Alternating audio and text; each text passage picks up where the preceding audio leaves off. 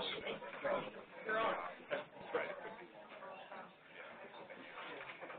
right, good morning, everybody. It is still morning, uh, and welcome to uh, the seventh annual NOAA HABS forecast that's hosted at Ohio State University Stone Laboratory. Webinar's running right now. We'll have some audio for the speakers up here. If questions come from the audience, we do have a microphone that we'll try and move around for folks to talk on. Um, everybody that's on the webinar, there's about 450 folks that have logged on um, virtually to listen today. They're all on mute, um, but they will have a chat function to ask questions via the chat function. If you're in the room, again, internet access is up on the board, as are any social media uh, links. And so my name is Dr. Chris Winslow. I'm the director for Ohio Sea Grant and Ohio State University Stone Laboratory. Um, in that role, I, I, report at a university level. I'm in the Office of Research at Ohio State University, but I also reside within the College of Food and, Agri and uh, Environmental Sciences. For those of you that don't know, that college uh, contains the Land Grant Extension Program. And so as a, as a uh, Sea Grant program and a Stone Lab program, we tap into the research, education, and outreach associated with that college. In the room today, we have about 25 different media outlets. Uh, we have uh, roughly 10 elected officials or, or some of their aides. We have 25-ish content experts. In a PowerPoint presentation I will give uh, later um, in this event, I will introduce many of those people sitting at the, in the audience. When I talk about the work they're doing, I will have them stand and, and wave because some of the elected officials or the media folks may want to talk to them about the work um, that they're doing.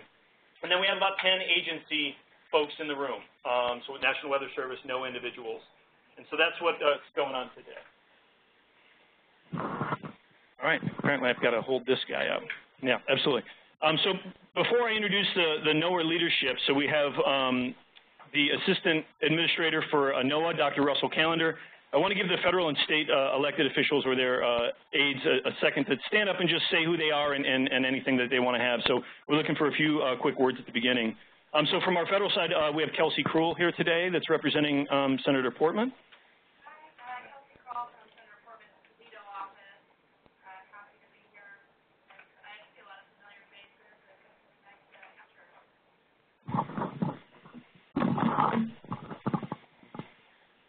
All right, next we have actually, we also have Jane Rubelo coming from uh, Congresswoman Kaptur's office. Hi, um, I was going to have each of my six interns speak, but I guess not. Um, I just want to thank Chris and I want to thank uh, NOAA, um, Dr. Stumpf, for inviting us again and for the good work you're doing on behalf of the lake. Thank you.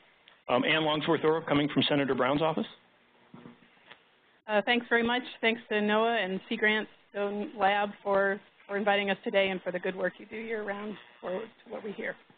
Thank you. We have David Wirt representing us, uh, uh, Representative Latta's office. Hi, David Wirt, uh, Congressman Latta's uh, District Director here in the Bowling Green office. Uh, again, uh, very familiar with the the issues that have been coming up. good to be here again this year for the HAB forecast and meet up with NOAA folks again. Thank you. Thank you, David. And from the state side, we have Representative Sheehy that's in the in the audience also. Representative Sheehy over here. Mike Sheehy, and I represent the district northwestern Ohio. Long River flows into Lake Erie. I'm going to the Oregon, Toledo, Jerusalem Township, Springfield Township, Holland, and uh, City of Maumee. Uh, and uh, no other city is more acutely uh, aware or uh, victimized by the uh, algal bloom and the, the current uh, uh, microcystin protein of the water. So I'm committed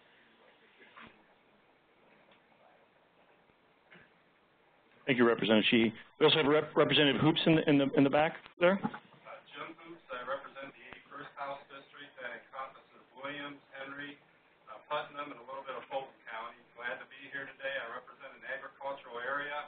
Um, and they, they too are very concerned about what's happening here, and they're doing a lot of good things. And I appreciate the, the work that you're doing through a scientific way of doing it. Thank you. Thank you very much. We have uh, Representative Arndt in the room also, in the back. I represent the 89th district, which is uh, all of Erie and Ottawa County, so you're actually standing, sitting in my district. And uh, it's always a pleasure for me to be able to come over and look at the collaboration with all the individuals that are bringing forth so much great information. I want to do sort of a shout out for uh, Chris Winslow as well as a number of others that are here. Um, uh, Dr. Reutter's sitting here as well, and, and I'm going to miss a few. But anyhow, uh, it was kind of interesting when we had nine scientists came together and agreed on a white paper that was published uh, September uh, in 2017. And Senator Gardner and I were able to utilize that white paper, and we have nine scientists agreeing on a strategy of what the challenges are within the, uh, the watersheds. Uh, it was a blueprint for our Clean Lake 2020. And I'm pleased to announce that the Clean Lake 2020 was signed yesterday by the governor, and uh, Stone Lab will receive about $2.65 million for additional uh, lab space, as well as some in-lake monitoring and in-stream monitoring.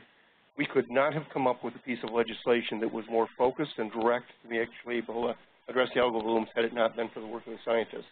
So again, obviously we see just what's going on in the room with some of the expertise, but understand it's both a state and a federal partnership, and so we need everybody at the table. So I'm very thankful for all the work that you've done. And with my colleagues here, uh, I want to thank all of them for support because that particular legislation passed unanimous in both the House and the Senate with not one dissenting vote. So thank you very much for all the work. Thank you, Representative Arndt. Also here we have some aides from uh, Representative Carfagna's office. So Abe Jacob, Abe, you're on. Hi, Abe from Representative Carfagna's office. He serves on the House Ag Committee, but I was also in a previous General Assembly privileged to work on Senate Bill 1 that we got through, so this is more just catch up and see where we're at today and see where the policies that we've done in the right direction. Thank you. And then we have Will Hinman from uh, Representative Cupp's office, too. I'm Will Hinman from Representative Bob Cupp's office in Allen County. I appreciate the opportunity to be here and look forward to learning about the presentation today. Great. And, and the last individual, uh, Senator Gardner sent along a, a, letter that he'd asked me to read here before I turn it over to Dr. Callender. So this is from um, Senator Randy Gardner. Kind of echoes what uh, Representative Arndt says. Says, thank you for your leadership and innovation to provide brief statement today. I was pleased to sponsor together with Representative Arndt the Clean Lake 2020 plan. While this is not the last, the last word on uh, striving to help Lake Erie, it is an important step for 2018 and beyond that the science tells us can make a difference. Included in Senate Bill 299, of course, is the 2.65 million for Ohio State University lab improvements and to enhance the lab capacity and lake monitoring. If it wasn't for the quality of work we know you do, that investment would not have been included in the Clean Lake 2020. My appreciation to everyone at the forecast who will continue to stand with us toward a cleaner lake in the years to come. So Senator Gardner, um, Senate Majority Leader. So with that, I, I, want to turn it over to um, Dr. Russell Callender, again, um, Assistant Administrator for NOAA, um, for his work, and he's going to introduce some of his, his staff. Thanks, Chris.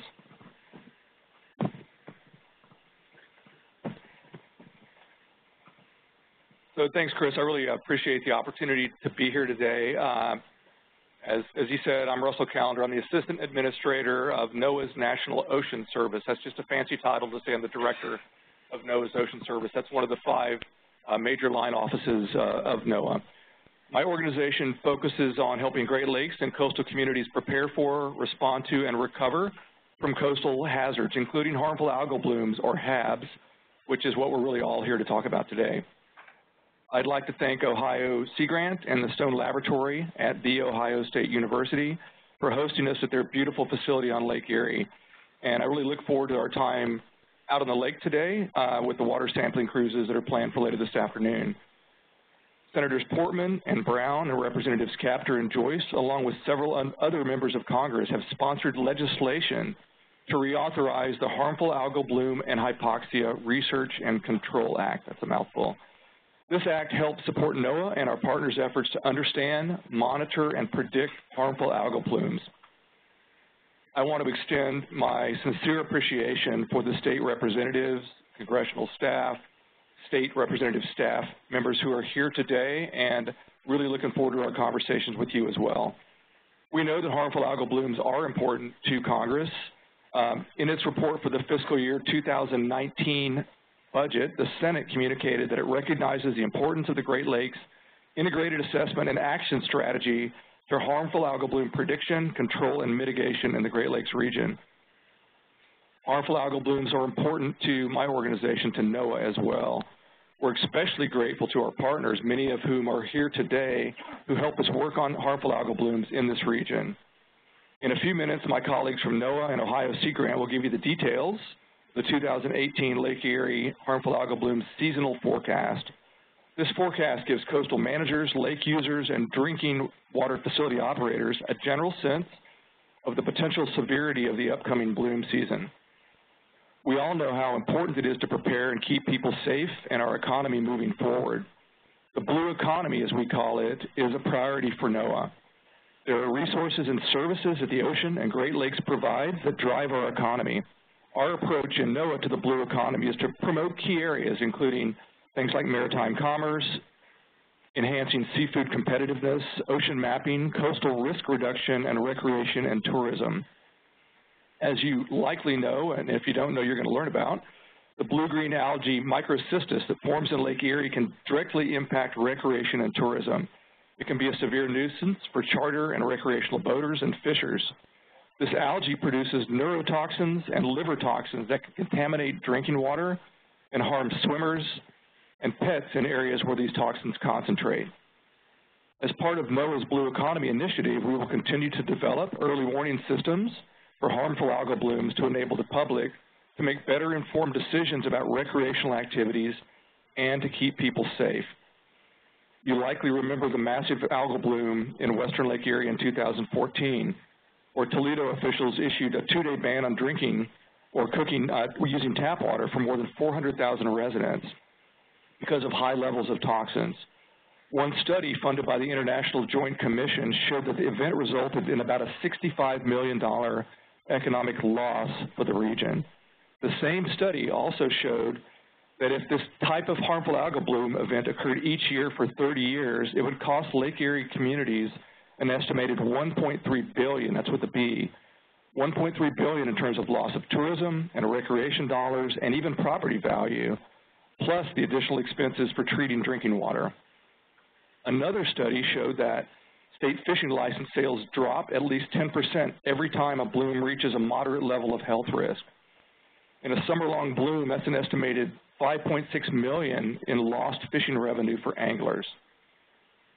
There is some good news. It's not all um, not all scary bad news. I think the flip side is that these blooms are not always toxic, they're not always severe, and they don't impact every beach on the lake. And our tools can help coastal communities and coastal residents plan. There can be safe places to fish and enjoy the lake even during a bloom, which is why it's important for people to check for information advisories every day, much like you would check the weather before going out to a beach. Our state partners offer that safety information online.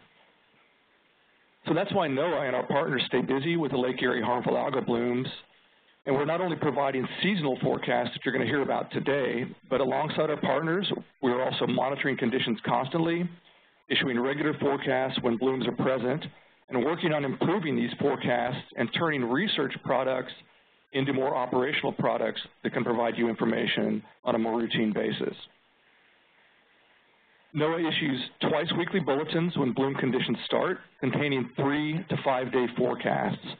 And actually, we already started issuing those uh, bulletins in late June, and you can sign up to get those forecast bulletins through email. Uh, if you don't know where to find that out, find me, find Chris. We can certainly help you out with that.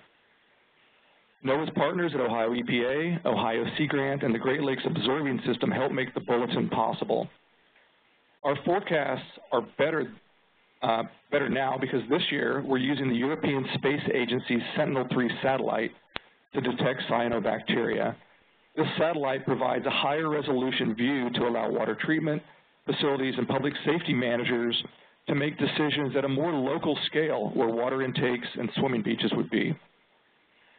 I mentioned moving from a research to an operational usage. NOAA, through our uh, key partner, the Great Lakes Environmental Research Lab, also has a harmful algal bloom tracker that provides a 10-day outlook of bloom trajectory, where the blooms are going, and concentrations using an experimental 3D model. That's kind of a mouthful. This model allows for us to more accurately forecast a bloom along the shoreline and identify where a bloom is in the water column. That's the three-dimensional part. This matters because blooms at the surface are more likely to impact fishers or swimmers, whereas blooms that extend deeper into the water column are going to more likely to impact water intake valves. So it's great to have that three-dimensional view. We're working on transitioning this model to include in our regular forecast capabilities. Many other state agencies and academic and industry partners work on HABs and contribute to our forecasts. The critical nutrient data for the forecast is provided by our colleagues from Heidelberg University, including Laura Johnson, who will speak momentarily. In addition, many other partners help run the forecasts, including the University of Michigan, Limnotech, Stanford University, Carnegie Institution for Science, and North Carolina State University. Field observations from monitoring and modeling are done in partnership with Ohio Sea Grant and Stone Laboratory at Ohio State University, University of Toledo, Bowling Green State University, and Ohio EPA. I'd like to mention, uh, as I close here, another important partner that's gathering field data about harmful algal blooms. Since 2013, Ohio Sea Grant and the Stone Lab have partnered with Ohio EPA to train fishing charter boat captains to collect water samples. Every Monday throughout the summer, these captains collect samples and turn them over to Stone Lab for analysis to look for toxins, the biomass of the algae, and the nutrient concentrations. The captains also talk with and educate their clients about blooms in Lake Erie. This is exactly the type of innovative partnership that can help keep the public safe and support local economies. I also think this is a fantastic example of the value of Sea Grant extension and engagement. Uh, I want to mention a few folks in the room that are key. I just mentioned Sea Grant. Jonathan Pennock, the director of the National Sea Grant Program, is here. Uh, also, Steve Thur, the director of the National Centers for Coastal Ocean Science, part of the Ocean Service, provides some of the key science and support for that science is here. And Rick Stumpf on my team, who you're going to hear about as well. So with that, I'm probably over time, and I'm going to pass it back to Chris, who will introduce our next speaker. Thank you, everybody. If we could give a round of applause for uh, Dr. Callender. So we'll transition now to uh, the loading data. So we're going to bring up Dr. Laura Johnson, who is the director for the National Center for Water Quality Research at, at Heidelberg University. So Laura, take it away. You've been practicing that acronym. All right. Okay. Hi, everyone.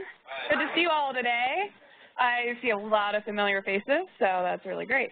All right. So, um, yeah, I'm going to talk to you guys about what we've been seeing so far this spring. So let's just jump right in. Uh, for those of you who don't know where Heidelberg is located, I like to put the little map up there closer. Okay. I figured you were there to yell at me. okay. Oh, this one. Oh. Do I just click? Or is there a clicker? Sorry. Which one did you do? Oh, just spacebar. Okay, that works. All right, so before we get into any of the data, I want a quick review of our tributary loading program. This is basically our water quality program. Uh, you see this map here, each little colored uh, watershed you can see there. The red uh, dots are all of the places where we are currently collecting water samples. So if you counted them all up, you would count 23 stations, which is an awful lot of water samples collected every year. For the Maumee River, we collect samples at Waterville, um, Ohio, uh, and samples are collected three times a day all year round, and we retrieve them every week for analysis in the lab.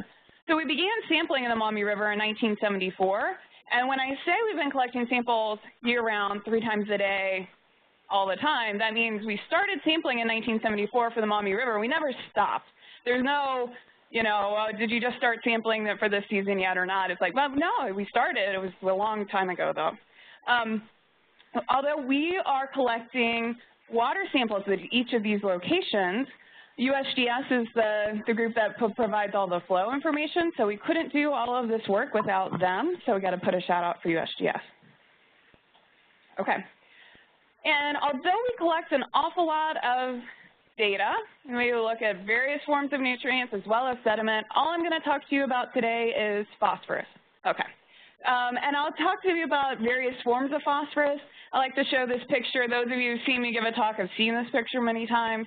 Um, and essentially we have total phosphorus, which is that muddy water sample. It's got the phosphorus that's in the water and dissolved, as well as that which is associated with the sediment. You can filter out the particulates, and then what makes it through the filter is dissolved. We also are going to show you some uh, data on total bioavailable phosphorus, both me and Rick, which is why I said we, not a royal we. Um, and total bioavailable phosphorus, essentially that phosphorus that's available for the algae or microcystis that is growing, and that doesn't settle out between Waterville and the lake. What it means functionally is it's all the dissolved phosphorus and about 8% of the particulate. Okay, and then before I even start to get into all the terminology, I'm just going to do a quick translation here. This is also becoming my coffee slide, right, so that uh, you guys know what I'm saying, and I'll use it later to help translate what I'm saying as well.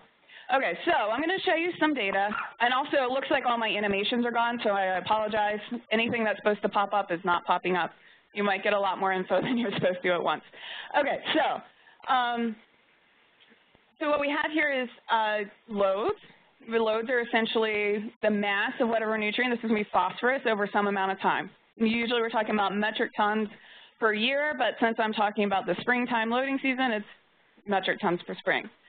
To calculate load, you essentially multiply a concentration by a flow or discharge. A concentration is the mass of that phosphorus per volume of water. Uh, the flow or discharge is just how much water you have over some amount of time. And so the examples here are milligrams per liter and cubic feet per second. So my example here is showing that you could have a small cup of coffee, right? And you put a packet of sugar in there, and that's a fairly concentrated sweetness, a concentrated amount of sugar, milligrams of sugar per liter of coffee. If you're drinking a whole liter, you might need to consider cutting back maybe a little. Um, but let's say you're really tired in the morning and you accidentally, instead of putting your packet of sugar in your coffee, you put it in your whole pot right, then that would be not very concentrated. You wouldn't even be able to taste the sugar most likely. However, since you're so sleepy, instead of drinking a cup of coffee like I did, you drank the whole pot of coffee, both of us would have consumed the same amount of sugar, one packet, right? So it would be the same loading of sugar. So what does this have to do with rivers? Well, we can have from one year to the next the scenario where because of changes in concentration or flow, we might have similar or different loadings. Or if we compare across rivers, we can have a very big river with a low concentration that has the same loading as a smaller river with a much higher concentration. So all of these are interrelated and important to understand. So what happened this year? So this is just showing the flow. This is just water, not talking about what's in the water, going from the beginning of February through as far as we've got. Of course, you can see the empty bit going to uh, the end of July, which is what we usually consider for our, our loading season. And I put a line here because, you know, in February, at the very end of February, going into March, we got a lot of high flow events. We had a, a good amount of rain and some thaw. And so you see there's some high flow events, but then we really only captured one of them once we got into March. Now, it seems like we had, oh my goodness, so such a wet spring, right? Well, not really. you know, where it rained, it was very patchy and a lot of periods of time where it got very warm and dry in between rain events. So we ended up sort of ho-hum mediocre, somewhere in the, the middle for, for flows, right? So these storm events, there's about, um, I think I counted up seven of them throughout this period of time, but they're not all that, all that crazy. Um, if we pop in total bioavailable phosphorus, what you see is that the concentrations do exactly what you would expect phosphorus to do if it's coming from a non-point source, which is land runoff. So concentrations are very low when there's not very much flow. When we get a storm event, the concentrations go up, and when the storm event's over, it goes back down. So we have low concentrations at low flow and high concentrations at high flow. What's interesting about this, which if you've seen me talk about before, is that the concentrations don't vary a whole lot based off of the extent or the magnitude of the storm. They basically always go up to about 0.15 and it comes back down, except for there's a little bit of weirdness in the middle of May, which is probably around when uh, pop-up fertilizer was being used and some of the groundworking was happening. So I think that's being driven a little bit more by particulates than by dissolved. Okay. So what does this mean? Well, this is the plot that we put out with the bulletin showing the cumulative total bioavailable phosphorus load. So basically, you take that concentration, remember, you multiply it by flow, you get a load for each day, and we add it up over this period of time, starting March 1st all the way through August, and we see how it accumulates. So the red here is showing 2018. You can see in 2018 we had a little bit of flow in March, some rains in April, lines up really nicely with our hydrograph here, um, and then uh, some events in late June, almost July. The lighter color is where we are projecting that we're going to get to. So you can see we're expecting a little bit of an increase, but nothing huge. And then what I'm also showing here is the maximum and minimum. So the maximum cumulative loads and the minimum. Basically, the maximum is 2011 and 2015 combined. The minimum is 2012. But I do have, oops, keep trying to hit arrows instead of spacebar. Uh, and so we do have here also, you can see the lines for 2016 and 2017 um, how they played out a little bit differently early on, but essentially we're straddling the both of them. It's right in between the two. If we looked at a median or an average loading, we'd be kind of right there in the middle of it all. This is also a uh, bar chart I usually show, so it shows how much loading we have so far. You can see this is as of July 5th, and you can compare it to past years. So we've exceeded 2012, 2016, 2014, or, or sorry, 2004, but we're not as high as 2014, 2008, and these other scary years, right? 2015 was way higher than where we are now. We're projected to get up to about um, 343 metric tons um, by July 31st. Oh, and I should have mentioned our projections are based off of the projected flows that we get from the Ohio, uh, well, basically National Weather Service Ohio River Forecast Center. So they forecast what the flows are going to be based off of weather forecasts, and we can use that to project what the loads will be. So how does this compare to past years? So I've done something a little different here. I've taken our years, and I've averaged them in five-year increments. So you can see the first one, basically, we started in 1975, and its average is 75 through 79. I'll put the other years on the bottom here, but you can see how they kind of line up in the middle. And so what you see is that flows, they varied a bit, right, kind of gone up and down, but no real strong trend until the past decade where we've seen a, a striking increase. Now, there's still a lot of variation within those five-year increments because we know we've gone from really high years to drought years multiple times in this period, but it really shows how that increase in flow has occurred.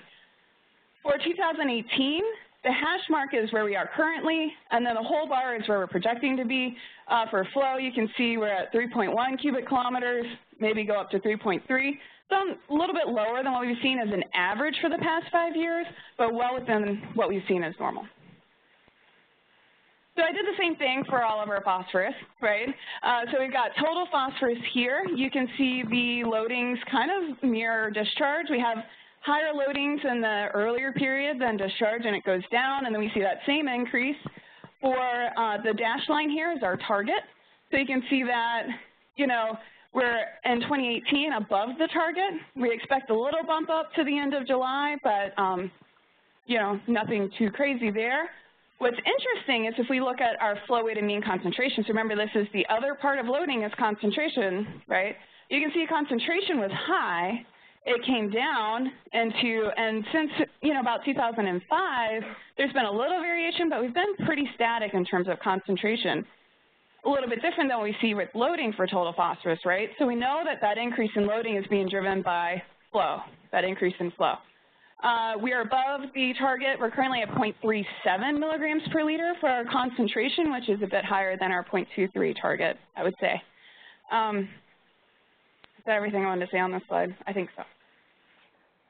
Same thing for dissolved phosphorus. People think about this a lot too. Um, and you can see dissolved phosphorus is showing that U-shaped curve that we always show that's both for loadings as well as flow mean. I do think I have a thing here. You can't really see it very well. But you can see that we had high loads.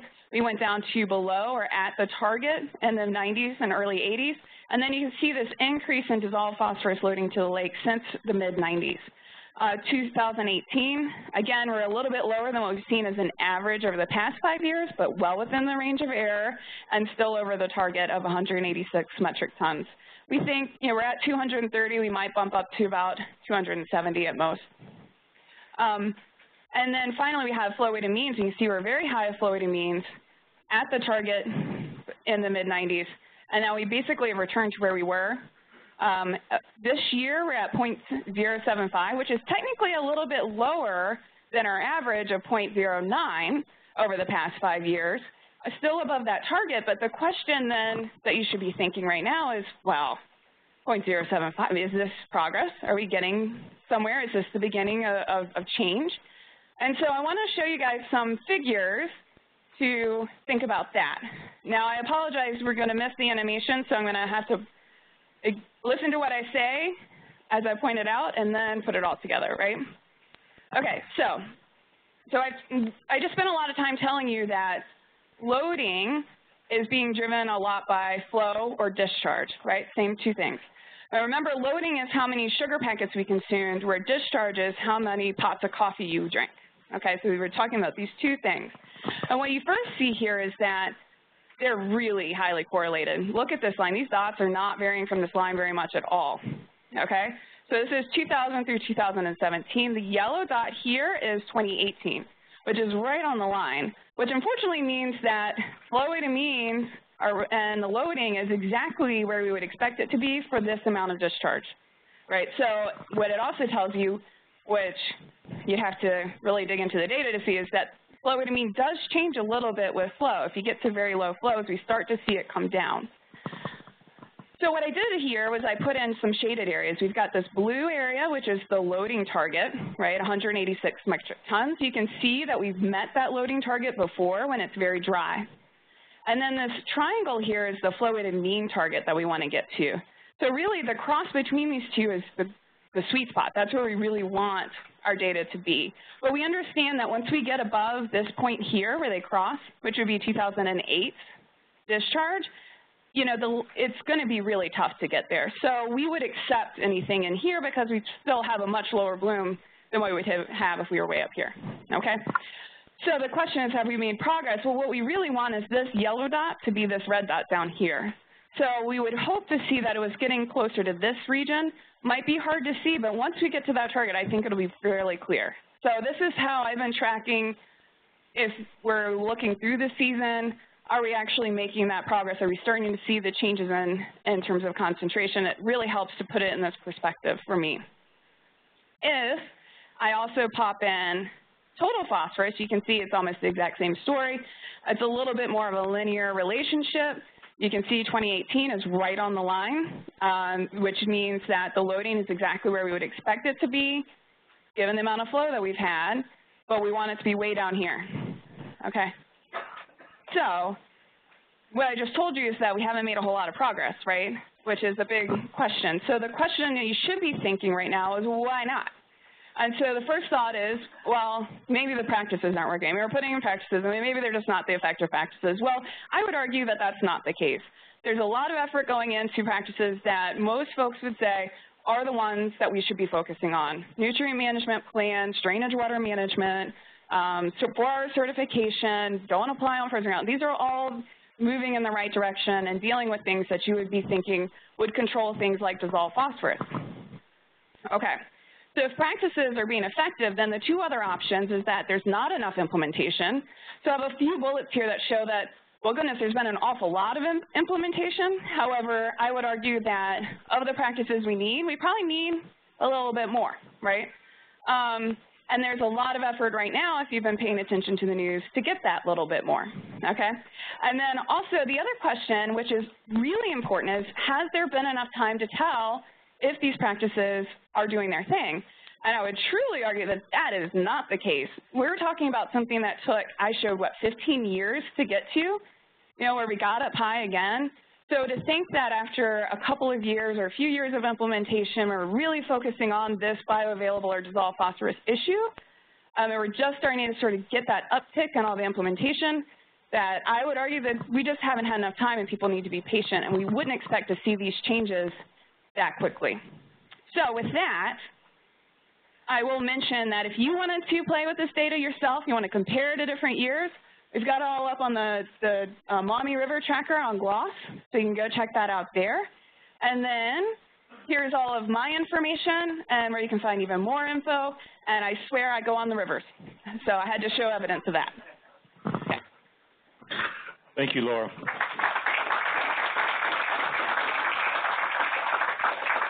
With that loading information in your in your brains, we're going to turn it over to Steve Thur, who's going to introduce uh, Rick Stumpf to give the actual forecast based on those uh, loading data. So, Steve.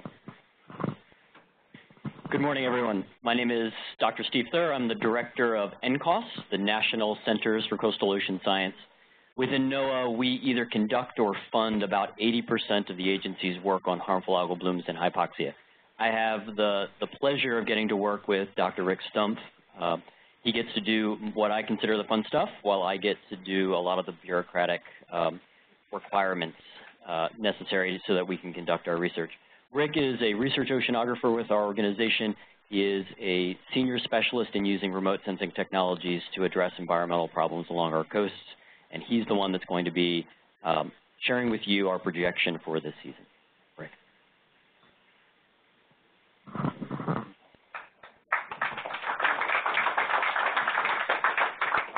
Thank you, Steve, um, and Russell for your great introduction to um, everything going on, and Chris, Chris Winslow for, um, for hosting this. And by the way, uh, Jeff Reutter is in the room. You, everyone knows Jeff, but uh, wave your hand anyway. This is the seventh year we've done this, and Jeff got this started in 2012. As you recall, the 2011 was the worst bloom Lake Erie had ever seen, and so being able to create a forecast after that bloom was a, a big success um, overall. So with this, the seasonal forecast, we have uh, ensemble models developed by uh, ensemble group here. Um, key, key to all of this is Laura Johnson's data. I can't emphasize enough that no one could model this at all if we did not have that nutrient load data. In many places, they get it once a month, once a quarter, and you can't get this kind of model out of that kind of that data. We need that daily information. It's an extraordinary data set. Um, it, it needs to keep going. Um, the various groups, uh, long list, um, University of Michigan, I can't try to read all the names, um, NC State University, Limnotech, uh, Stanford and Carnegie Institution, and of course support by others. Um, a couple of people are in the room. Uh, Nate Manning's here um, as well. John Bratton is here also. I think those, yeah, I think those are all the people who are definitely in the room. Okay, so said the space bar. All right, I'd like to list touch on last year, where it was, and or how our forecast did. We, of course, know there was a, there was a bad bloom last year, and there was scum in downtown Toledo in mid-September, and it did go from Toledo all the way over to Ontario at that time, that scum layer. Um, the forecast last year, probably a big question is, did we get that right? And yes, we, we forecast the seven with an uncertainty between um, uh, uh, six and um, about eight and a half, and we were it was we were slightly under for the exact number. But yes, we correctly predicted a bloom of about that severity. So the forecast was right. Um, of all the forecasts, um, I would say the only we've been we've been correct in all years except maybe 2016. We estimated a larger bloom than actually occurred in 2016, and that would be the only exception for for the forecast overall that is what 20, 2017 looked like.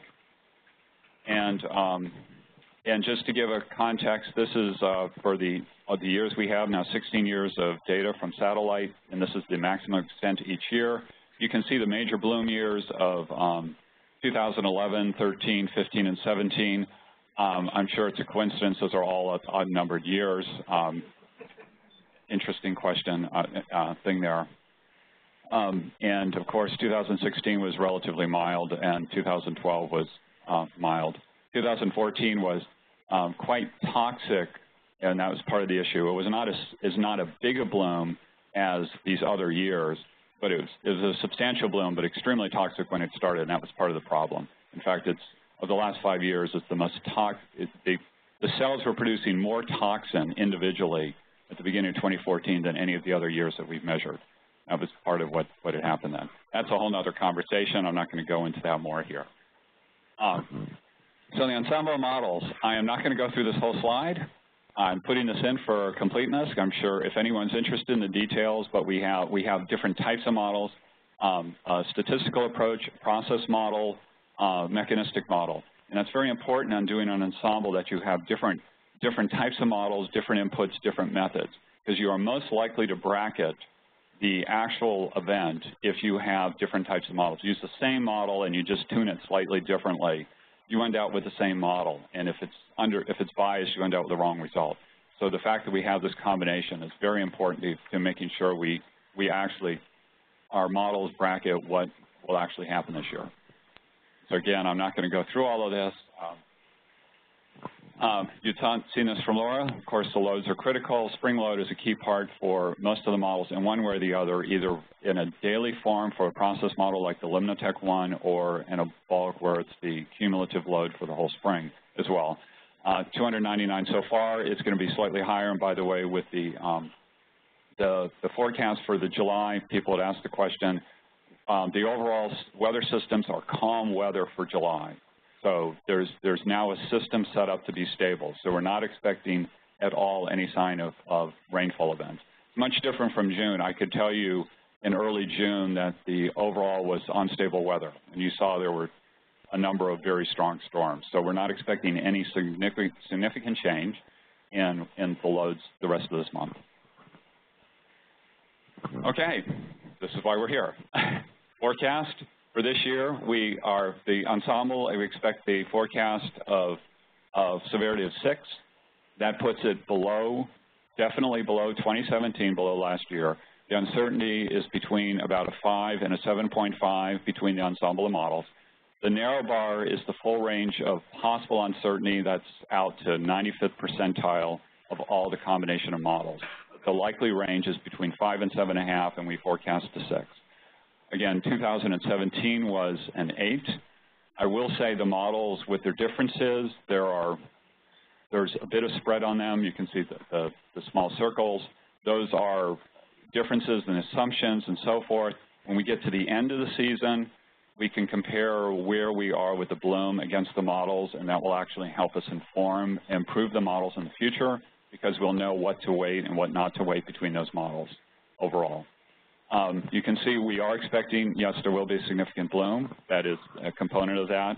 Um, and we've had some other years that look somewhat similar to that. Those who remember 8, 9, and 10, there were areas of noticeable scum in the lake, but this is much smaller than what we would have seen last year. Um, just to put in context, between 16 and 17, because those are the recent memory, we're smaller than 17, but definitely larger than 16. And 16, where I think most people think of, was pretty mild, benign year. There was still, there were some areas of some issues, and you can see patches of those. Um, in this case, at this particular time, is closer to the Michigan shore, which anyone from Ohio would be happy about. People from Michigan wouldn't.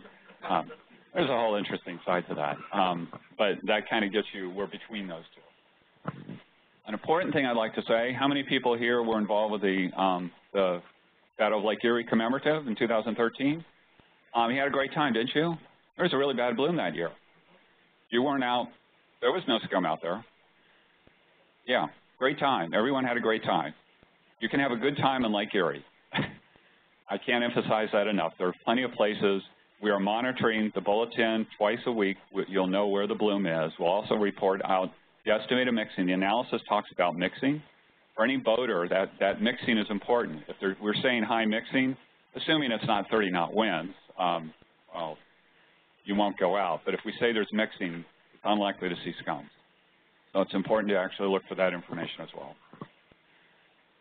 Um, another part is conditions vary. The winds move these blooms around. I'm just showing here an example, two similar blooms, and this is the area around Port Clinton and a bit above it, 28, 2008. It was there, 2010 it wasn't. And an overall issue that gets very interesting, if we have southerly winds, it becomes an Ontario problem. If we have northerly winds, it becomes an Ohio problem. So everyone from Ohio is hoping for southerly winds, and everyone who's probably on the phone from Ontario is hoping for northerly winds. Easterly winds becomes a Michigan problem. Um, that's kind of how this goes. But they can be anywhere. It is very common, by the way, for the bloom to come out and go around. This is, this is actually the bloom of water from the Detroit River. It's very common for the bloom to go out there. And so it's not unusual. You might be fine closer to shore with a, with a problem as you go further out. So it's important to track this. When you said you're forecasting a 6, and 8 was last year. Yeah. Was 8 forecast or was 8 what it actually That was actually was last year. We forecast the 7 last year as the mean. 7 and yeah. to be 8. Yeah. And that does not mean we consistently underestimate. we overestimate in 16, so, which I say was the one fall. Um, the note Russell mentioned, the Sentinel-3, we just started using it a little last year. It was not completely calibrated. Um, we're using it, we're going to be using it mostly. The first few bulletins you've seen this year have all had Sentinel-3A data. Um, and, oh, and Sentinel, what's great about this, great, back up. Um, Sentinel-3B, the sister satellite, was launched in April. Sentinel-3 right now is, is about every other day. Next summer, we will have every day with this data. And Sentinel-3B, reports from European Space Agency, is that it looks at least as good as 3A. It's very cool. They've been running it. It's flying in space 30 seconds behind the other. The two satellites are 30 seconds apart in order to intercalibrate them. Very cool. I'd be happy to talk about that for a long time. Um, Did you say it's every other day now? It will be, right now it's every other day, mm, on average. And so you can see the difference. It's, you can see patches 10 times smaller. There's the OLCI on the top, a MODIS at the same day on the bottom. You can see how this is pretty blocky and how much smoother. And a real value to that is not only the resolution, but the model Russell talked about, the three-dimensional model we're using. Having this higher resolution means you see this fine grid. That means we're doing a much better job of inputs into the model. So the model's not working with a blocky data set. It's a much smoother data set. So we'll get a better job of actually forecasting where the bloom is with this model that we're using, this 3D model. And that's just in 3B, not, not in 3A, right? The, the, the 3A and 3B are both this high resolution, exactly the same Do they both penetrate as deep to give you Exactly the same. Everything's the same. They're intended that way. So they're looking, the Europeans are looking long term. They've actually issued the contract for 3C and 3D, so we're expecting 20 years of data. I expect in 20 years, we don't, we will continue to do this, but we won't have to. So, We are not going to stop monitoring Lake Erie, but we should not have to. so, you, so with 3A right now, you're seeing, um, Near surface, near surface bloom. Okay, but, but what Russ was talking about was 3D below surface. Oh, the, we use the we use the satellite to r- start the model. So the satellite data tells us where the bloom is, and then we, because the blooms go up and down the water, the 3D allows us to populate the whole water column. Tom, we'll walk around with microphones. Yeah. Let's, let's get through the talks and we'll answer questions. Don't know people on the webinar can hear, so. Okay. So, and also, of course, we have um, we have the bulletin. Um, I will note this is a bulletin from last week, and some of you were out in the lake. There was some scum out there. The bloom has started early this year, and you've there are probably some concerns. You've also heard the lake is warmer this year. Probably some of you have seen that. That's about uh, 7 degrees Fahrenheit warmer at this point than in past in climatological. That does not mean we're going to have a worse bloom. Temperature, it grows faster in warm water, but we need phosphorus. If it runs out of phosphorus, it stops growing. That's the key factor. So just to get an example, this is this year, we're running, um, these are thresholds for temperature. This is this year. You can see very early, end of May, we hit um, 68 Fahrenheit, which is the threshold for optimal growth, and it actually touched at 77, 25 degrees there. These are the other years which are later, but I'd like to note 2013, which was a bad year, we didn't hit these thresholds until three weeks later, and we had a severe bloom. The issue is the phosphorus load. So we may see, we saw a little scum, we'll see a little more, but it does not mean we're going to have a worse bloom this year. It just means it's going to start, it started up earlier, we may hit, uh, the timing may go a little bit earlier overall. So overall, the forecast, severity six, um, un uncertainties between five and seven and a half, and that uncertainties in the models or disagreement, differences between the models on that, which we should be able to resolve. So we hope in future years we'll be able to tighten those up. Um, again, the warm water does not mean a larger bloom. It's, it's about the phosphorus. That's the key question. I can't emphasize enough the impact of where the bloom is depends on the wind. So it's important not to go on the assumption. It's treat this like you're in Ohio. I, I looked this up. There are seven eight thunderstorm days every month in the summer in Ohio. That doesn't stop you from going out and playing golf or going boating, just because there might be a thunderstorm. So please get the bulletin and use it. Look at it. Um, and uh, a lot of the lake will be fine, most of the central basin, but even in the western basin, there are areas that will be good. And right now they are good. The bloom, take, it has to grow. It doesn't suddenly appear like even aliens from outer space, they have to grow usually. They don't just show up um, instantly. So um, thank you all. That's what we have here.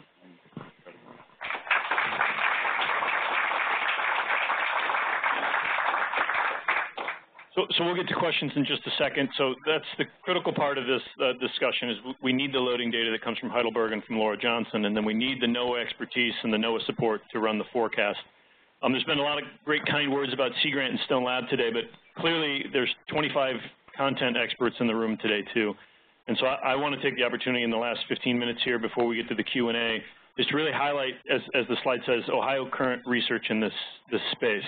And so just to get into this um, presentation, I have some animations in here too, so I'll try and walk us through. But this is kind of the funding cycle that we've looked at since the Toledo crisis in 2014. So what you're seeing on the early online, um, as soon as that crisis happened, in 2015, OSU's College of Food, Ag, and Environmental Sciences mobilized a million dollars to fund five projects. The great thing about that funding that came out of the college was with the, the um, dean of that college, Bruce McPheron, at that time, went down to the state capitol and asked what the state could do to help also. And the Ohio Department of Higher Education clearly stepped up. And you can see from FY 2015 all the way down through FY18, we have seen about $2 million go towards research um, annually. What I've had here listed after each bullet point is the projects that are completed now, those that are done but in a reporting set, and those that have just started. We had money awarded in April of this year, so there's projects now. Those 9 plus 11, so those 20 projects started in April. And then we have Ohio Sea Grant projects that have been running on in the background um, for many years. There is some remaining funds out there, and to see things like um, Representative Arndt and Gardner put Senate Bill 299 out there, knowing that that effort and those dollars are going to be invested, we can layer the remaining 2.4 on top of those projects. We're in a great place to take this money and leverage it across um, other efforts. So what I want to really do is walk you through and, and, and, make you aware of the amazing scientists that you have in this state, many of them in the room. And so I'm going to kind of walk through this harmful algal research initiative. So this is what we set out to do from a big picture. We started out, we had to figure out how to produce clean drinking water. Yes, we have aspirations to reduce um, phosphorus loads by 40% relative to 2008, but right out of the gates, we need to know that we can turn on our faucets and drink water. We also know that in the second bullet, we need to look at human health impacts. So when you do come in contact with this toxin, what are the likely risks that are there? Moving on, we need to know how these blooms behave, and I will talk a lot about that today and show you some of the research experts in the room. And then we also need to know how nutrients run off the system. And there are also some people in the room that can address some of those questions you might have. And then the last bullet here is information sharing and collaboration. Um, Dr. Callender mentioned this, uh, Dr. Thur mentioned this. You know, it's key as we try and move the needle on these nutrient inputs that we're, that we're working collaboratively towards these um, efforts. And that's what this slide is really supposed to illustrate. This idea that this isn't just federal agencies on the left-hand side or state agencies on the right-hand side, the NGOs, organizations like the Farm Bureau, but all of these universities at the, at the bottom are either leading one of these research projects or are co-collaborators on these projects. Work we're doing in Ohio right now couldn't be done if these groups were not communicating. I'm seeing more communication across universities than I ever have in my career, and I'm seeing communication across universities and agencies. It's been a, you know, it's not fun to have to work on a crisis to force this interaction, but I think in Ohio, relative to many other states, there's a lot of interaction going on that you're not seeing perhaps in other parts of the country. So there's uh, reports that are out. They were downstairs in the table. These panels uh, I was hoping come in, in in succession. But basically there are reports down there that have all the projects. There's a 2016 report that tells you about what happened in 2015. There's a 2017 report that talks about 15 findings, but then also what's going on for 16 and then hopefully you'll anticipate in 2018 in September, um, we have hosted, this year will be the third year, we host the State of the Science meeting in Toledo at the Stranahan. That'll happen again. It's on September 14th. 13th, thank you, September 13th, it's a Thursday. We plan to roll out this final or this next report at that event. Um, we will be sure that those in the room have, uh, have an invitation to that event. So the four categories we talk on, the first one I want to hit on is tracking blooms from the source. Um, this is the infographic from that report. This is the crib out near um, Maumee Bay, um, where the Toledo gets its, its, intake water from. These are the projects that fall into this category, and, and I recognize you won't be able to see them from where you're sitting, but just to help me point out the people that are in the room doing this great work.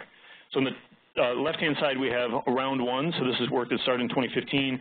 We have HABs detection and mapping happening in Sandusky Bay and uh, Maumee Bay. So for Sandusky Bay, we have both Mike McKay and George Bullerjahn. If you could stand up. There's Mike McKay, George Bullerjahn. And then for the Toledo monitoring, we have Dr. Tom Bridgman in here. And so if you want to know about their work with placing buoys and helping to inform water intake plants, those are your experts, and they're people that you should be speaking with. Moving down below that, you've already spoken with Heidelberg. Um, they've got a round of funding in round one and in round two to really look at a small watershed. What happens if you track how many best management practices are putting, being put in those watersheds and what is the resulting reduction in nutrients? So if you want to know about that, a lot of it's going on in Rock Creek and Honey Creek. Laura Johnson would be the one to talk with. Um, all of us know who Laura Johnson is. Um, Mike McKay and George Bullerjahn were also looking at um, toxicity of Planktothrix in Sandusky Bay. Maumee Bay and, and, the western basin of Lake Erie get a lot of attention. When you look at the forecast, when it's, when it's red, that means high concentrations of these organisms. But if you look, Sandusky Bay is red way earlier than Maumee Bay and stays red way longer than Maumee Bay. And it's the work that George Bullerjahn and, and, and Mike McKay that are doing from Bowling Green State University that help us address that. Um, even the Central Basin up here in the top right, um, our very own Dr. Justin Chaffin, where's Justin at? Good. So the research coordinator for Stone Lab, he's doing a lot of sampling efforts and things out in the Central Basin to look at the nutrient dynamics, the fluxes, and what happens with Central Basin blooms. Uh, moving down here, we, we definitely have work that's going on in the modeling efforts. We have Dr. Jay Martin here today. Is Margaret Kalcic in the room? Dr. Kalcic was not able to make it up today. Dr. Jay Martin is one of the researchers working on the ensemble modeling. So looking at the places in Ohio in the watershed that are, are potential sources of those nutrients, whether it's DRP um, or whether it's uh, total phosphorus or particulate phosphorus, and not only Jay, but there are four other modeling groups working together. To echo Rick's thought, if you're going to model, it's nice to come at it from using different modeling techniques. So if you want to know where um, some of the particulate phosphorus sources and dissolved reactive phosphorus sources are in the watershed, Jay's the one to talk to. Within that modeling, he's also looking at if you implement BMPs across the landscape, what resulting reduction in phosphorus might you see? So please seek out Jay while you're while you're here. And then Mike McKay, he's our, uh, our resident Canadian, so he does a lot of our winter work or early spring work. He's the only one that wants to be out there when it's cold. So if you want to know what's going on as far as nutrients and um, phosphorus in, in, the early spring, um, Dr. McKay is the one to talk to again, we did a lot of work in safe drinking water. Not a lot of these uh, content experts are here, but I want to pull up this slide just to remind you, remind you there is some really amazing cutting edge stuff going on right now. I will not talk about every one of these, but basically each one of these bullets is a project that has been put in place to help water treatment plant operators do their job. We do have the pleasure of having Kelly Fry in the audience. Kelly, if you want to raise your hand, um, operates one of our water treatment plants um, in Ohio. And so these are the sorts of things when we roll out the findings from these projects, um, Kelly gets very, very excited about this stuff. And so some of the things that are here, we're looking at new biofilters to remove the toxins. We're looking at things like how do we um, dose powder activated carbon or algicides in some of our reservoirs. We now know that we can bubble ozone and UV radiation to remove these toxins. And so the tools, technologies, and trainings that our water treatment plant operators have now to remove toxins is phenomenal. And I would argue we're leading um, many states in this regard. Um, if you want to know anything about this, again, some of the content experts aren't in the room, but I'd be happy to answer questions for you.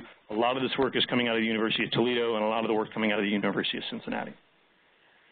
Moving on, we, we do, um, and as I mentioned, we, we are focusing on some public health concerns. Um, this is an infographic, again, from that report. Um, I will highlight last year we had Dr. Stu Ludsin come and give a talk at the webinar talking about um, fish flesh. So if you're catching walleye or yellow perch that are in these blooms with toxins, are the fish safe to eat? And the data coming back from that shows that if you're following the existing fish consumption advisories put out by the DNR every year, if you're consuming at that level, the fish are safe to eat. But other things in here about if we water crops with water that has toxins in it, does it get stored in the crops, and how do we handle that? Um, and so a lot of this work on human health, if you want to pull me aside, I can tell you about some of the findings from this research, but I can also put you in contact with the people that you need to be speaking with. Um, we're also doing a lot of stuff in this engaging stakeholders. So we need to make sure that everybody has the right information in hands. So we're trying to build websites uh, that have um, all the information in one place. Um, and so that's this information coming from um, University of Toledo. Um, Dr. Greg Labarge is also in the audience. Greg Labarge sitting in the back. Greg Labarge is doing a lot of that farmer interface and working with farmers to help them recognize which best management practices are best for their field. Um, Greg Labarge is with the College of Food, Ag, and Environmental Sciences at Ohio State, um, and he is building a, a, best management practice website. So farmers can go in there and kind of decide which practice might be best for them. In the room that, that are here today that we invited aren't in some of these funding routes that we've mentioned already, but they're people that you need to know are doing amazing things. And so I wanted to draw some of these people to your attention. Margaret, Margaret Kalcic isn't here today, but she's working with Jay Martin on the multi-modeling work. But in the new model they're working on, they're trying to incorporate the influence of drain tiles on the movement of those nutrients off the system. They're also starting to incorporate um, application of manure and how manure is approached. So those models are being refined through time. But again, Dr. Mike McKay is here. Um, he's looking now, he got a new grant um, out of the new Ohio Department of Higher Education funding looking at viral activity in some of these blooms. So the water treatment plant operators can be looking at the virus loads associated with these blooms, not just the toxin loads. Um, Tom Bridgman is leading um, our open water impairment sampling. Many of you in the room probably recognize, and I'm going to read a letter from Director Butler here in a second, um, that a team of scientists were pulled together to help Ohio EPA find a way to designate um, whether the open waters of the Western Basin are impaired from a recreation standpoint. Um, that um, science has been out there. I have to thank Rick Stumpf. He was part of that team, and his tool was used to help with that impairment designation. But the importance of that is that that is um, the tool we have right now, but it brought up a lot of questions about how do you appropriately measure these, these toxins and these blooms and, and the scums that form. And so we've got extra funding to continue to refine that ability to um, sample the, the status or the health of the lake. Uh, John Bratton's in the room. John, can you wave your hand again? Great. So John is one of the ones from Limnotech that helps with uh, one of the alternate models or the coupled models that Rick uses. But the other thing I want to bring up with John Bratton is he's on an EcoHab grant. And for that, John Bratton, Tom Bridgman is also on that, and then um, Justin Chaffin. EcoHab project, it's a three-year funded NOAA grant, and what it's trying to do is layer on top of Rick's forecast. Right now, what we can show is what we think the bloom size will be, but there's not a good indication of the toxicity of that bloom. And so these three researchers with other folks that aren't here today, John and, and, and Justin and, and Tom, are all working on being able to model toxicity. So it's not just where the bloom is, how big it'll be, but maybe how toxic it is. Moving on, um, we got Angelica Vasquez Ortega from Bowling Green State University. Um, she's doing a lot of work with carbon, and one of the things she's got a grant to do right now is to look at, or she's got a grant in the hopper right now to look at nitrogen and phosphorus removal through drain tiles. So the drain tile is coming off a field and you run it through um, a structure, can we absorb or remove some of those nutrients before they make it into the system? Jim Hood's also here. Jim, if you want to stand up from Ohio State University. Jim is uh, starting to look into work to figure out what streams contribute to the nutrient load. And so there's a lot of questions out there. Is, are the streams themselves providing nutrients to the systems, or are those streams actually sucking down nutrients that aren't making it into the lake? And so Jim and some of his colleagues are working in that direction, again, also from Ohio State University. And then Steve Wilhelm, where's Steve at? Steve's in the room too. Also, he comes all the way up from Tennessee, maybe traveled the furthest to get here today. Yeah, so, so Steve uh, does a lot with microcystis. So he looks at how varying conditions in the lake, temperature, nutrients can affect those blooms. But he also, like uh, Mike McKay, looks at the virus activity within those blooms. I just want you to know, I mean, there are a lot of amazing things going on right here. There's a lot of funds that have been put forward. Thank you to the Ohio Department of Higher Education and, and NOAA and the Sea Grant program. But you've got a lot of content experts here today I've just kind of scratched the surface um, for what we've got going on here. Um, but I wanted to do one last plug. This is um, directed towards Ohio State, but I will say it's not only at OSU. And at OSU and the college, we're, we're under what we're calling a water quality initiative. And I know UT has modeled this also. What we're trying to do within our universities is not stay within a department and figure out who's working on water issues, but go across colleges and across departments. And so I know UT has economists, um, policy folks, um, chemists, and water people all working together on these questions. We've quickly realized that uh, we need to attack these from multiple disciplines. So I'm going to end before we turn it over to the Q&A. I just want to read a letter that I had mentioned that I received from um, Director Butler from the EPA. He was tentatively on the schedule. We thought he might be able to um, attend today, but it didn't work out. But he sent along this um, letter, and it's related to, again, the impairment designation that I mentioned. So it says, um, uh, this is from, again, uh, EPA Director, Ohio EPA Director Craig Butler. I want to express my appreciation for the assi assistance of the Ohio State University Sea Grant College Program, Bowling Green State University, University of Toledo, and NOAA.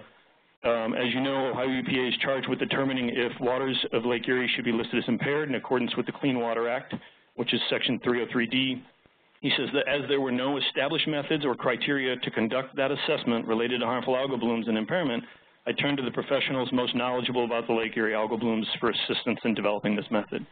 The research knowledge of algal bloom issues and the understanding of the lake data and technical details helped me and my staff submit a 303D list to the EPA, and that was actually approved just Monday, July 9th. And so the Ohio, or the federal EPA has approved Ohio EPA's methodology for impairment designation.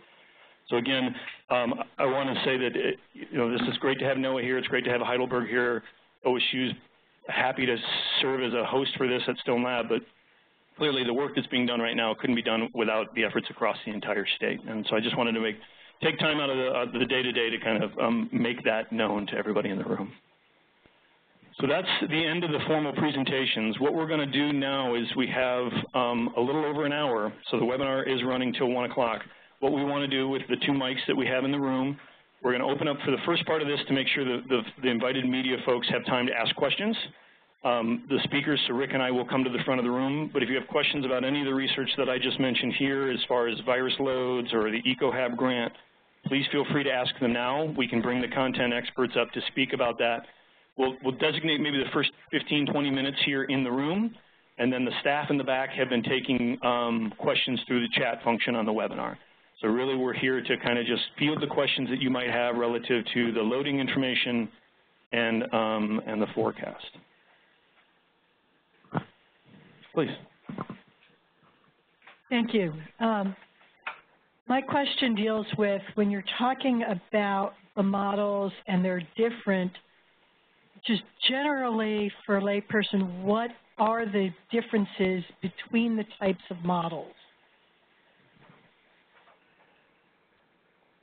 The, um, uh, um, well, there's a range of answers. Uh, a, a, key part is how they handle different components. So, um, uh, for example, I'll start, uh, one of the models we have is um, a statistical relationship, um, in which it's a statistical one. So we know phosphorus drives the bloom. We look at past years. How big was the bloom compared to the amount of phosphorus going in? Very straightforward statistical. The, another side with uh, the Limnotech W. model, Western Lake Erie ecosystem model, is a process model. So it'll take the phosphorus from every day and then grow an algae and from the amount of phosphorus and based on the temperature, water temperature, so it calculates the water temperature from the sun. So it goes through this from a completely different approach. Um, when we actually did the work for the, um, the Great Lakes Water Quality Agreement, the two completely different models came up with the same answers on that, which is a very compelling reason to indicate that, well, we're seen to be in the right direction because such fundamental. So those are key differences. There are other nuances, for example, um, what's called internal loading, which is phosphorus that's already in the lake that came from other years. Um, some of the models treat that as more or less important, and so that will come out as a factor, uh, how that comes in. So those are kind of the core, some emphasis of different things and also how they operate. And if the question, if you ask where you're coming from and, and what uh, unit you represent. Gary Wilson, Detroit Public Television. For Dr. Johnson, you referred to target. Uh, can you define target, and does that equate to a TMDL, if there was one? All right, yeah. So um, so the, the, targets that I presented were those that were set through the essentially an effort of uh, the Great Lakes Water Quality Agreement. There were a group of folks that came together. They were called the Objectives and Targets Task Team. Jeff Werder is here, and he was head of co-chair of that group, so he could um, also correct me if I say anything slightly incorrectly here. Uh, but essentially, we came together, and a lot of the same people who have developed these models to forecast the size of the bloom also use those models to help determine, all right, well, at what level of loading do we get what we would consider to be um, an acceptable bloom, right? And that acceptable or minimum bloom was decided to be around 2012, which was also equivalent to 2004. It's about the same as a 40% reduction in phosphorus loading compared to 2008. So I say a target, but really it should be considered a maximum load, right? Like if you get over that number, you're probably going to have a bigger bloom than what we want. So what we're saying is that 90% of the time, or 9 times out of 10, we need to be less than that. So you should consider it more not where we want to go, but what we want to be below. Does that make sense? It does, but does that, does that equate to a TMDL, which has the word maximum in it? So the follow-up was, uh, how does that relate to a TMDL? Right. Uh, yeah, so it's not exactly the same as a TMDL. They're, um, you know, it's calculated slightly differently. TMDLs are usually uh, river-centric, uh, but it's not entirely different either. So the, if you look at the TMDLs that are set by river, it might not necessarily match up to that. Oftentimes they don't have, for the, this Annex 4 work, we had a focus on dissolved phosphorus, since that's the thing that's changed so much since the blooms have come back, um, and that's what was low when the blooms weren't here. So there's a lot of focus on that, which you usually don't see so much of in a TMDL. So that's, that's the added advantage there. Yep. Uh, this is for Rick. Um, Rick, uh, I'm looking forward to a mild weather the rest of July as much as everyone, but um, isn't that potentially also a bad thing in terms of algae?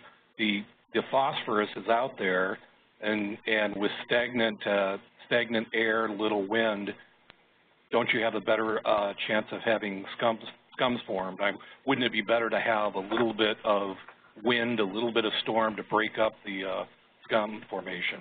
Okay. Um, with the weather, the we can't okay we can't forecast the wind out that far. Um, that's probably one of the, the worst forecasts that can be uh, most difficult forecast to do. So it's it's really the forecast as far as the systems that would lead to precipitation in the atmosphere. Um, as far as the, the point of whether mild weather, if we have um, calmer weather, there's more likely to be scum formation. What that means is whatever is available in the bloom will come up to the surface. So you can have the same amount of bloom present, but if it's mixed, it's less concentrated. It's diluted through the whole water column. So your concern, and a reasonable concern from boaters, um, the charter boat, I see Dave Spangler and Paul Pacholski there, um, which they would much prefer a little bit of wind to keep it mixed down into the water. Because if it accumulates, that's the worst possible situation for the boating and swimming. We, we can't, there's no way to forecast uh, what the winds are likely to be weeks out in the summertime. The models just don't, don't work that well. Um, it won't change the, what it will change is the appearance of the bloom. That's probably a key part. If we go back to last September, it was extremely calm for a week in September. At the same time, there was actually a regrowth of the bloom. It's a whole other story that I could talk to you at some other time. But it was so calm that all of that was at the surface. And so there was a huge amount of bloom, and we could all see it, how much was there at once. Karen Schaefer, Freelance Public Radio. Um, this is really a question for Laura Johnson, I think. Laura, you were talking about um, are we making progress? Are we seeing progress? Maybe we aren't, maybe we're not.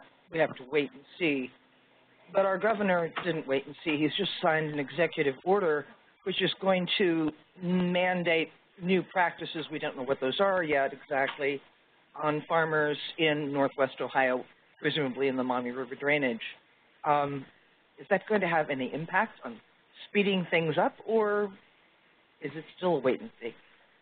So I, I will be honest that I uh, briefly reviewed what I saw in the executive order just after I arrived here from a copy that Jeff gave me, so I am not an expert on this at all. What I've seen is that they have targeted some of the higher contributing watersheds sort of in the southern part of the Maumee River for areas that should be getting certain practices. The words I saw specifically was the nutrient management plans. Um, so I'm guessing that uh, farmers are going to be expected to get nutrient management plans. They're just making the watersheds distressed, so it matches up with what they did in Grand Lake St. Marys, which was to require nutrient management plans there. Um, in theory, that should be very effective. You know, if you are measuring what phosphorus is there, and you're then putting on the right amount, then that should be a really good way to go. Um, what it would, the, we'd have to see follow through that after you get a nutrient management plan that is being followed. Um, I also think, however, that placement of phosphorus, especially in the Lake Erie Basin, is important. So whether you're putting phosphorus on the surface or below the surface, you know, injecting it below two inches is going to play a big role into how effective it's going to be. So, you know, my call would be to also include some measurements of phosphorus accumulation on the surface of the soil associated with how uh, uh fertilizer has been applied as to how effective it's going to be. How quickly it's going to be effective, that's a whole other question. So that really depends on how, what the soil test levels are. We know that if, if levels are elevated, it can take a while to see those reductions. And what we're relying on is what we call drawdown. So we're basically saying, you know, if we start doing the right things and then we are harvesting crops, the crops will take away phosphorus. That's drawing down the phosphorus pool. Um, and then we'll get to lower levels and then we'll, you know, sort of reevaluate how much phosphorus to apply over time. So that process, depending on how high the soil test levels, can take a very long time or can take a not so long time. I mean, some of the data I've seen from Steve Culman um, looking at soil fertility is suggested just within one or two crop rotations, you can see, um, you know, slightly elevated levels go down to something that, you know, you, might even need to worry about. So, you know, I think that there's a lot of potential there. I mean, I tell everyone that's the first step, you know. If they're like, what do you tell a farmer to do? Uh, test your soil and don't add too much phosphorus. So uh, it seems right to me. So when we think about this, at least for me, I think about it kind of from three perspectives. The nutrient application occurring now, so how do we handle that? And the 4R program is a great way to be addressing that. Then there is, is what Laura mentioned too, there's the phosphorus that's already there. There are some locations within the watershed that are going to have elevated phosphorus. So finding ways to draw down those is another one. But the one we cannot forget, and, and Laura does a good job of plugging it in her talks, is water management is that third bucket. So we need to worry about nutrient management today and how we can address that and through nutrient management plans and toolbars that farmers are using and from BMPs that a Greg LaBarge and OSU Extension can recommend. You know, those are things for today. We need to be working in that, um, what's often been termed legacy. There's never really good definition for that, but, but phosphorus in the fields from the past. And some of those elevated fields from the past aren't through malicious intent by anybody in the watershed. Some of these things are things that were recommended to farmers, you know, three decades ago. So what we're learning about how to farm and how to manage our landscape has changed dramatically. But water management is going to be a key thing going forward. Tom, I'm going to come back to you in just a second here. Thank you. Um, it was mentioned that the forecast or expectation for precipitation in uh, the remainder of July is uh, uh, low or uh, lower than average. Uh, how does precipitation in August or even early September affect uh, things? Uh, there's pretty much no impact for those. It's, it's so late in the season, there's not time for that phosphorus to drive into that. Uh, we have actually a very good example of that in 2007 when there was a, a actual flood in late August, and the 2007 bloom was one of the smallest ones we saw. It's, it's really too late to get it going.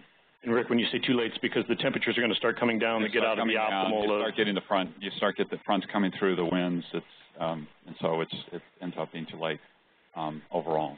So we don't expect that to happen. So that's that's our overall assessment. Um, one more in front of you, and then I got you, sir. Gary Wilson, Detroit Public Television. We've been the beneficiary of tremendous presentations here, but from a first-time attendee, uh, the ag community is sort of conspicuous by its absence. Uh, is there a reason why uh, the ag uh, community didn't present here? Yeah, so um, we, the format of, the, of, this event just changed for this year. So before we had done it where it was a, a, a, press briefing where we met really primarily with the press. They got the loading and the, and the forecast, and then they left. And then there was a two-hour webinar that happened later. And what we did for that was actually bring in different sectors. So we had one that talked about fish health last year, one that talked about water treatment options last year. Um, Greg LaBarge, you presented on the ag field. And so we just tried to mix it up this, this year. So there is no intentional exclusion. I have the pleasure of working with a lot of ag groups with corn and wheat, soybean, with the Farm Bureau. They knew this event was coming on. There wasn't a intent to not have them there. They knew what was going on, and really it was just to do the forecast and then just a, an update on, on, on research.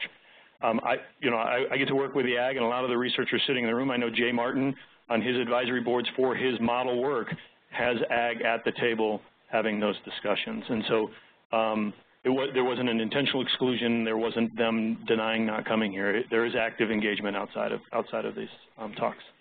Steve Davis is in the back, and, and again, Greg, Greg, um, Greg LaBarge from OSU, and, and they have a good pulse on, on what the farmers, you know, are doing, what they want to do, what they're able to do. That's why coming back to Representative Art and Representative Gardner's bill, having that money in play to have staff to help with um, nutrient, developing nutrient management plans, getting money into the hands of farmers to purchase toolbars and equipment to do the right things. And so um, the ag community has been engaged in, in embracing this process. Okay, this is a little nerdy, but everything we're doing here is a little nerdy, and it makes it kind of fun. Um, so uh, I've been talking to Tom Bridgman lately, and he's kind of torn between the um, the heat forming what he is torn between are these are these mini blooms that he, he's seen come out earlier in the season sometimes, or is this the real main bloom that's that's coming out? And so I thought we would maybe maybe have Rick versus Tom, George Bullerjahn, and Mike McKay, and anyone else who wants to jump in. And is this the real bloom, or are these what's out there now? Are they pockets of mini blooms? Okay. Um, I can start off. Tom has certainly, over time, seen little bits of blooms in Maumee Bay, and the cyanobacteria has always shown up in June, at some point. Yeah, pretty much always shown up in June. What has typically, it, what, I, so I can step back here. The satellite has an advantage of scale, has a disadvantage of we can't see the subtleties. So I can't see cells, but we can see scale. Um, and so if you have a very small amount of bloom, um, you can get these small pockets. They don't show up. They're not big enough. What we've seen, though, already this year is areas large enough that they clearly show up in the satellite, which we have not seen this early before.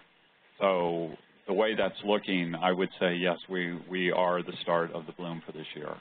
And um, it's not a matter of this little bit is going to go away. Now, what is going to happen is um, there's not it's not high concentration right now, and so you get you get some wind, and you won't see it easily from a boat again. We had uh, I think Steve Davis was out fishing, probably I'm sure you all a, a week or two ago, and there was visible scum on a fairly calm day. The wind picks up, you won't see it. That could give the impression that it appeared and disappeared. This we've not seen this this amount of area in early June or in early July in past years. That's um, so it has started earlier. It's consistent with the temperature. Is there any way of trying to put that in a better perspective of how much more are you seeing, you know, in in uh, July or June, June and early July? Compared to other years? Yeah. Well, past years was zero. we hadn't seen anything from satellite in the first week of July. How much? I mean, Tom, I don't know if you could say whether you've seen. Maybe you can answer of how much earlier you've seen, or whether a little more. I can, I? I, I can say that in probably four out of five years, we see a little bit of cyanobacteria growing in June, but it, it disappears usually before people notice it. Uh, around the beginning of July, this time of July is usually fairly clear water. Uh, so to see this much cyanobacteria out there at this time of year is, is something I haven't seen in 17 years. It's the most I've ever seen.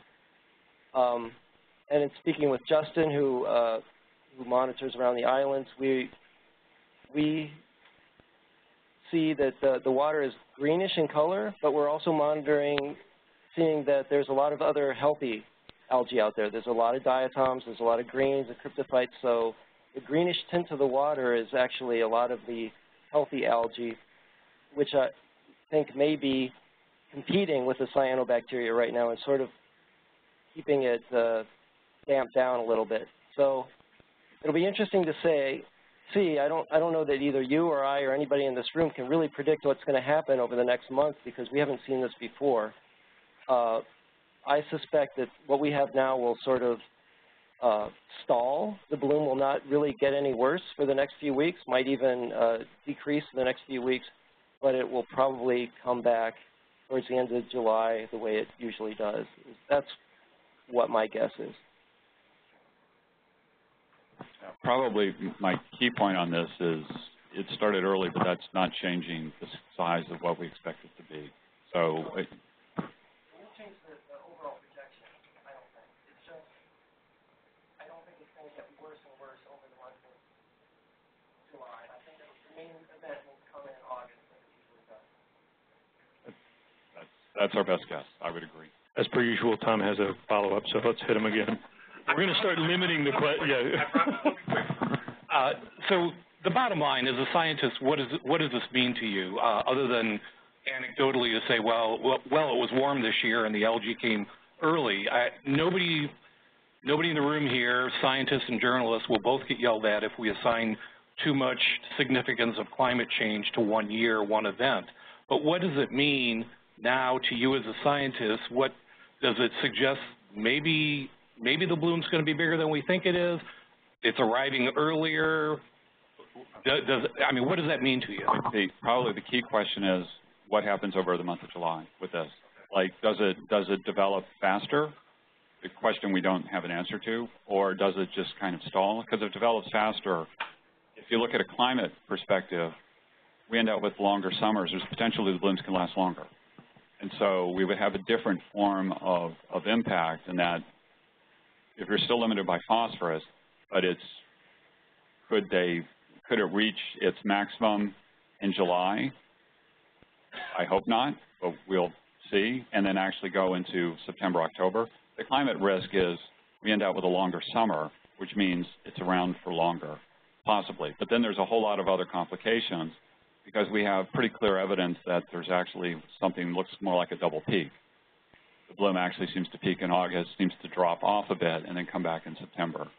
And in fact, the modeling um, work, the process model that uh, Limnotech has, the WLEEM model, actually produces that as an output, which is pretty remarkable that um, we're getting the same result from what we're seeing on the imagery versus that. So there's other complications that but the long one on climate is there is a risk that we could have a longer period of time with a bloom. Not worse, just longer. That's, that would be a concern. And I think Tom's itching to say something. So. I, I wanted to agree with you, Rick. Um, something you said in your presentation is there's a certain amount of fuel. There's, there's basically a certain amount of fuel for the algae out there right now. And that's, that's mostly all that it's going to have for the summer. And that, that amount of fuel or nutrients is going to determine the size of the bloom, which is what all these models predict. It could very well be that the bloom now is going to be, as you said, spread out over the summer. So instead of a big pulse of a giant bloom in August, it could be that we have a more mild bloom that's spread out over a longer period of time. So over time, if you integrate it all, it's the same amount of algae. It's just spread out over more time. So it, it, it could go either way. We'll, we'll know better ask us again in November. We'll have a really good answer. Well, and, and that's the that's the key of this. I mean, this is the nature of the science, right? After this prediction here, Rick doesn't put the model on a shelf and wait for next year's loading data. All of these models are taking what you learned on where you missed, where you high, where you low. These are being modified on a regular basis. So it is when when you hear a big unknown, what, everybody goes back to the drawing board again, not fully to the drawing board, but recalibrates the model to adjust to these sorts of things. Question here. When uh, for Chris, and whoever else is doing the uh, virus work. When you talked about viruses, are they affecting the microcystis levels and affecting the algal blooms, or the virus is something else along for the ride from the farm fields that we need to worry about, and why do we need to worry about them? Good. No, this is why I invite 25 content experts, because I know no answers. So then I just hand the microphone off.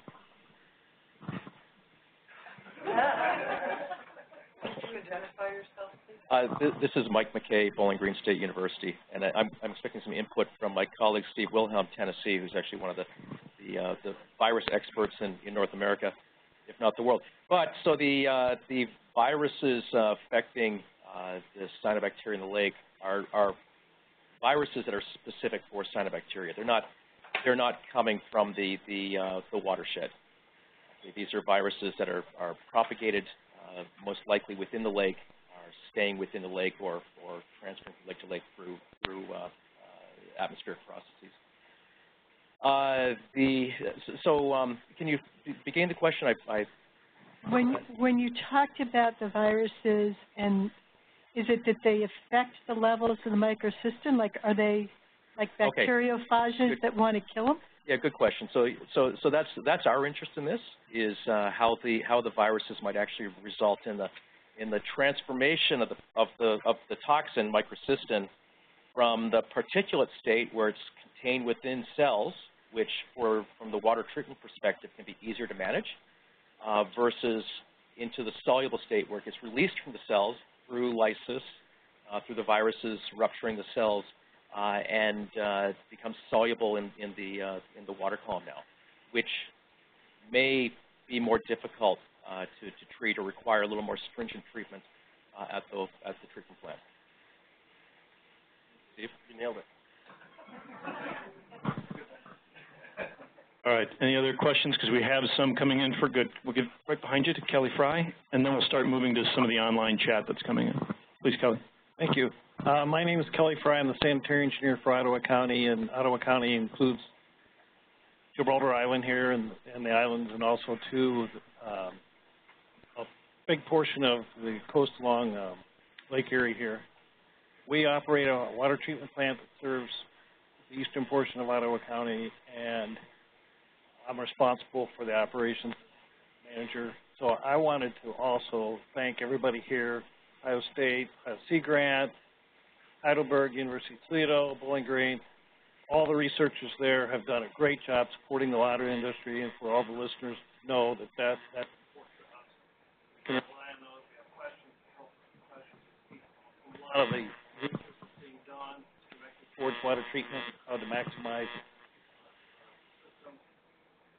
but there's also one thing here I think somewhat missing that seems to get passed by, and for the charter boat people, for the, everybody that deals with it on a daily basis, we draw our water from Lake Erie, we have to treat it, everybody drinks it. We want everybody not to think about what's in the water, but how good it tastes.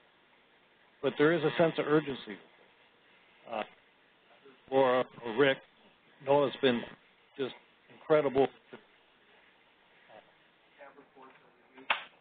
Um, we need to be able to predict, and we're all here for predictions, how soon this is going to subside. I was really happy to see that this year is less than last year. That's, that's really good. But we need to have confidence that lake is cleaner, confidence in our systems, and not have to be looking beyond as to what we have to do to increase our, our ability to. So for everybody here, appreciate to know how we can see we can feel comfortable as a that we are getting results that we. Yeah, and, and so I, I think that's the million dollar question in the in the room. I, I do when I look at the the grant portfolio that um, that OSU in concert with UT. I didn't pull this out earlier in the conversation. It was in an animation, but those Ohio Department of Higher Education grants are being managed by both OSU and University of Toledo. Um, when we looked at those grants, early on it was kind of a triage approach. Like we knew we know we needed to lower nutrients because that could lower the blooms. But we had drinking water issues now, and we had human health analysis that we had to do now. And so I can tell you that a lot of the research that's going on now or being redirected is to go more to the nutrient loading component. Um, the other problem with that nutrient loading component is we're talking about over 4 million acres in Ohio, 7.2 million acres, I think, in the entire western basin, rough numbers. That's a lot of acres of land to address. We also know, and, and again, thanks to uh, uh, Representative Arndt, uh, and Gardner, if you look, and we have, we've surveyed that agricultural community, many of those individuals want to be part of that solution. But some of the solutions that we need to, to give them is what BMP works for which farm. A farm isn't a farm isn't a farm isn't a farm. And so you, you do need some specialized recommendations. There are some blanket things that we know, incorporating and don't apply, you know, fertilizer at certain time and things like that for our program. But we need to also assist that sector of the community, and that's why bills like Gardner and Arndt, where we're going to be able to get trained individuals in there to, to do nutrient management plans and get toolbars that do inject these things in the soil.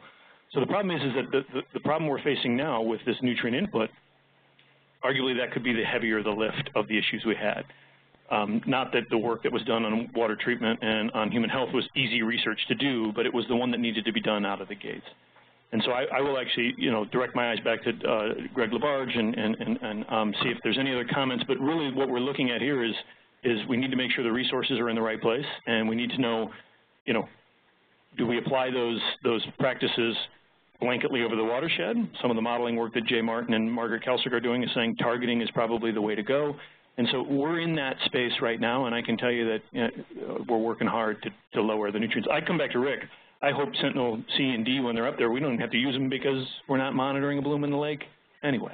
And that's where we all want to be ultimately. Does anybody want to follow up those comments that's in the audience? I'll just say one thing for Senator Arndt, or excuse me, Representative Arndt and Senator Gardner. They've been great supports in this latest bill that got passed. It's just, just a feeling for us that it's going towards the, the resources that are needed to do more, more research, and I, I certainly appreciate that also. Thank you, Kelly. Please. Okay. I, by the way, like predictions here, so I'm looking. Okay. Yes. Yeah. I know. Well, so I'm going to give an example instead. About the first of August. That would be. Yeah. Yeah. Okay. So, well, so my example, you know, this executive order that just came out, and a lot of this effort is based off of some results um, from Grand Lake St. Marys, uh, which is data that we've collected, and I worked with uh, Stephen Jacquemin from Wright State uh, Lake Campus to help, you know, analyze this data. Uh, so what we analyzed was Chickasaw Creek, which is one of the small tributaries to Grand Lake. And, you know, Grand Lake was declared a distressed watershed. If I remember correctly, it was like 2011, but then a manure ban went on in 2013. There's a lot of efforts that basically happened from 2011 on. Well, we've been monitoring there since 2008, so we had some before data and some after data. Um, and over that period of time, we actually have seen some decreases, which frankly I was surprised about because I was like, concentrate, you know, soil test levels are going to be so high at Grand Lake from the historical manure applications that we're never going to see a decrease. It's going to be decades before we see anything. Well, we've seen about a 20% decrease in nitrogen nitrate concentrations as well as uh, total phosphorus. Dissolved phosphorus hasn't changed nearly as much, but it depends on what level of flow you have. Um, and so what that could mean to you is that, you know, over less than a decade, we can start to see some changes. What everyone has missed saying about Grand Lake St. Marys is that the levels coming out of Chickasaw Creek are still at least, at a minimum, two times higher for dissolved phosphorus than anything we measure in Lake Erie and for our, our monitoring program. And nitrate is probably more like, I would say, four times higher. So a 20% decrease is like, yeah, that's great.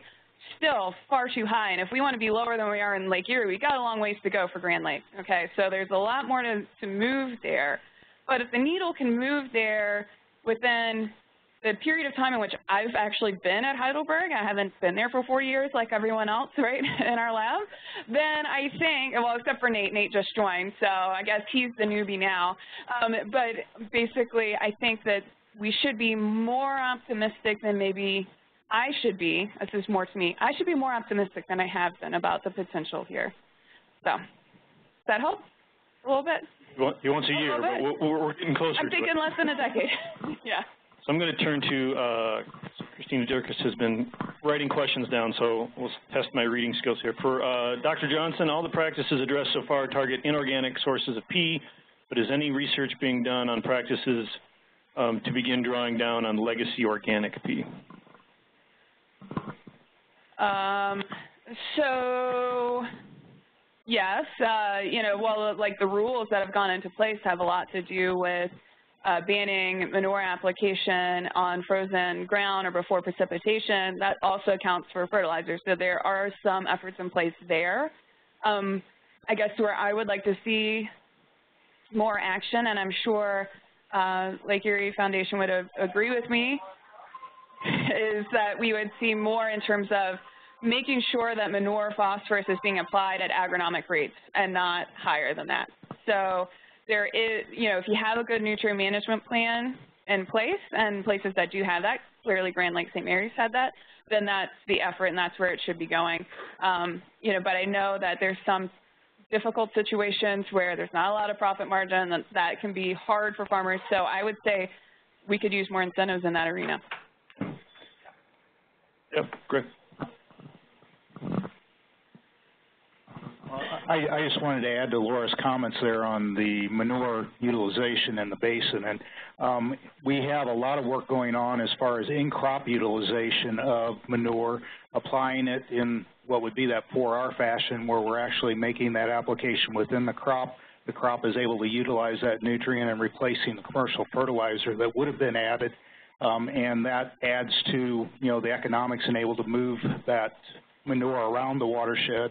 Um, also, uh, you know, provide some incentives for farmers to really take a look at uh, maybe even moving it from a livestock farm to a non-livestock farm in relationship to uh, the application. So there is a lot of in innovation going on from an application standpoint and timing in relationship to manure utilization.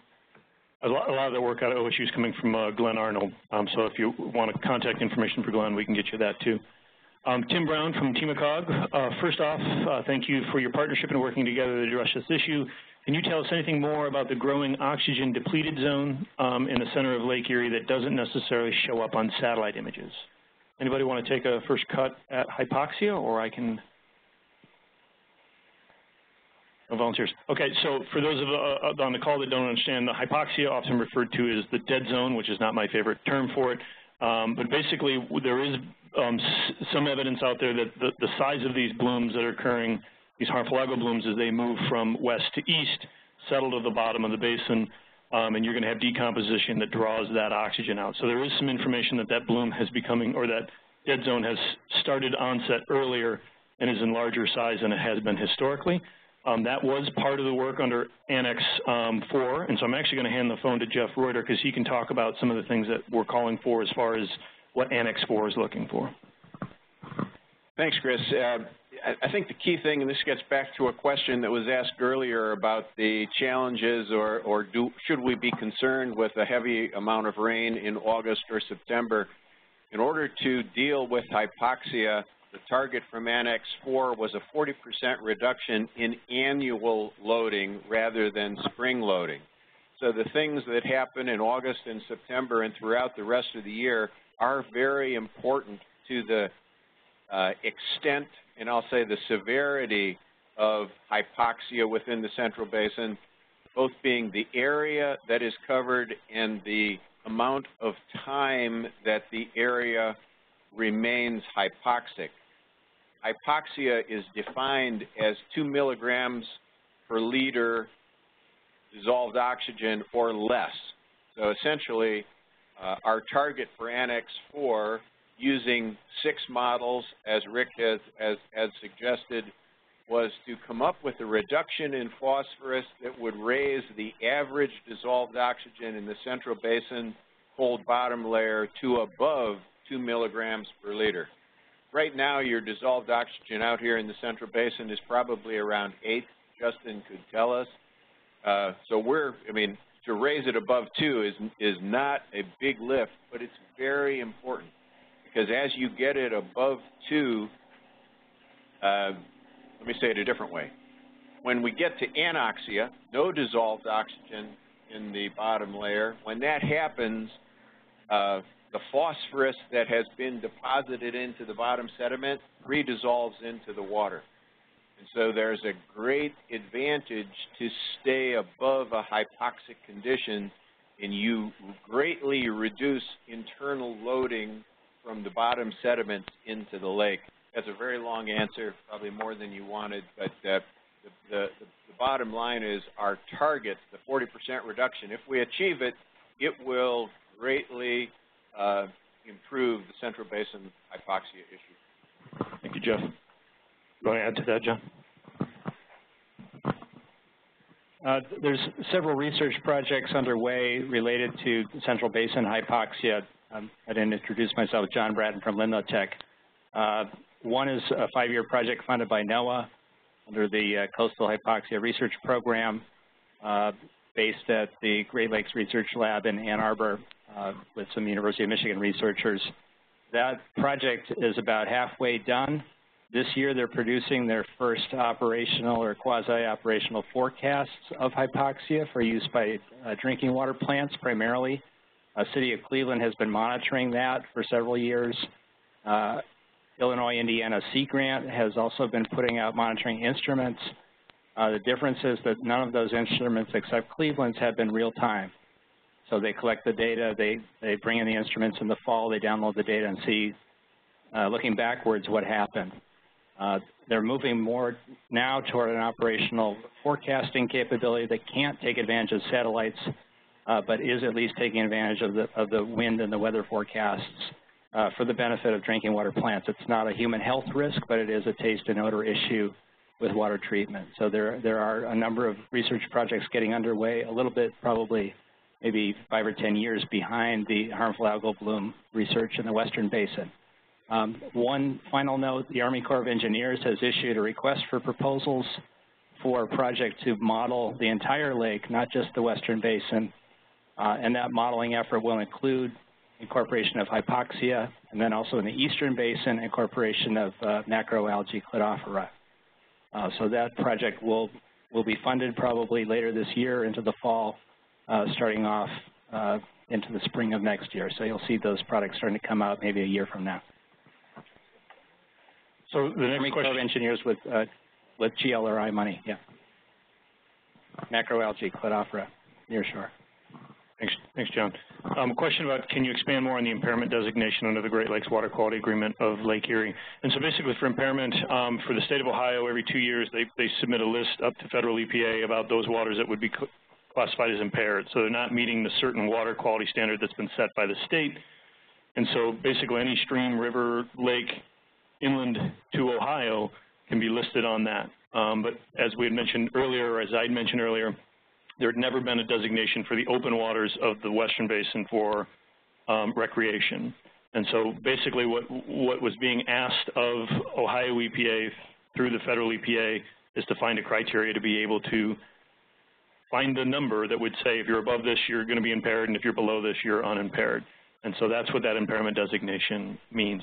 Now I want to stress, just like we do with the forecast, when you say it's going to be a six bloom, that says the bloom is going to be there of a certain size, but it doesn't mean the lake is off limit.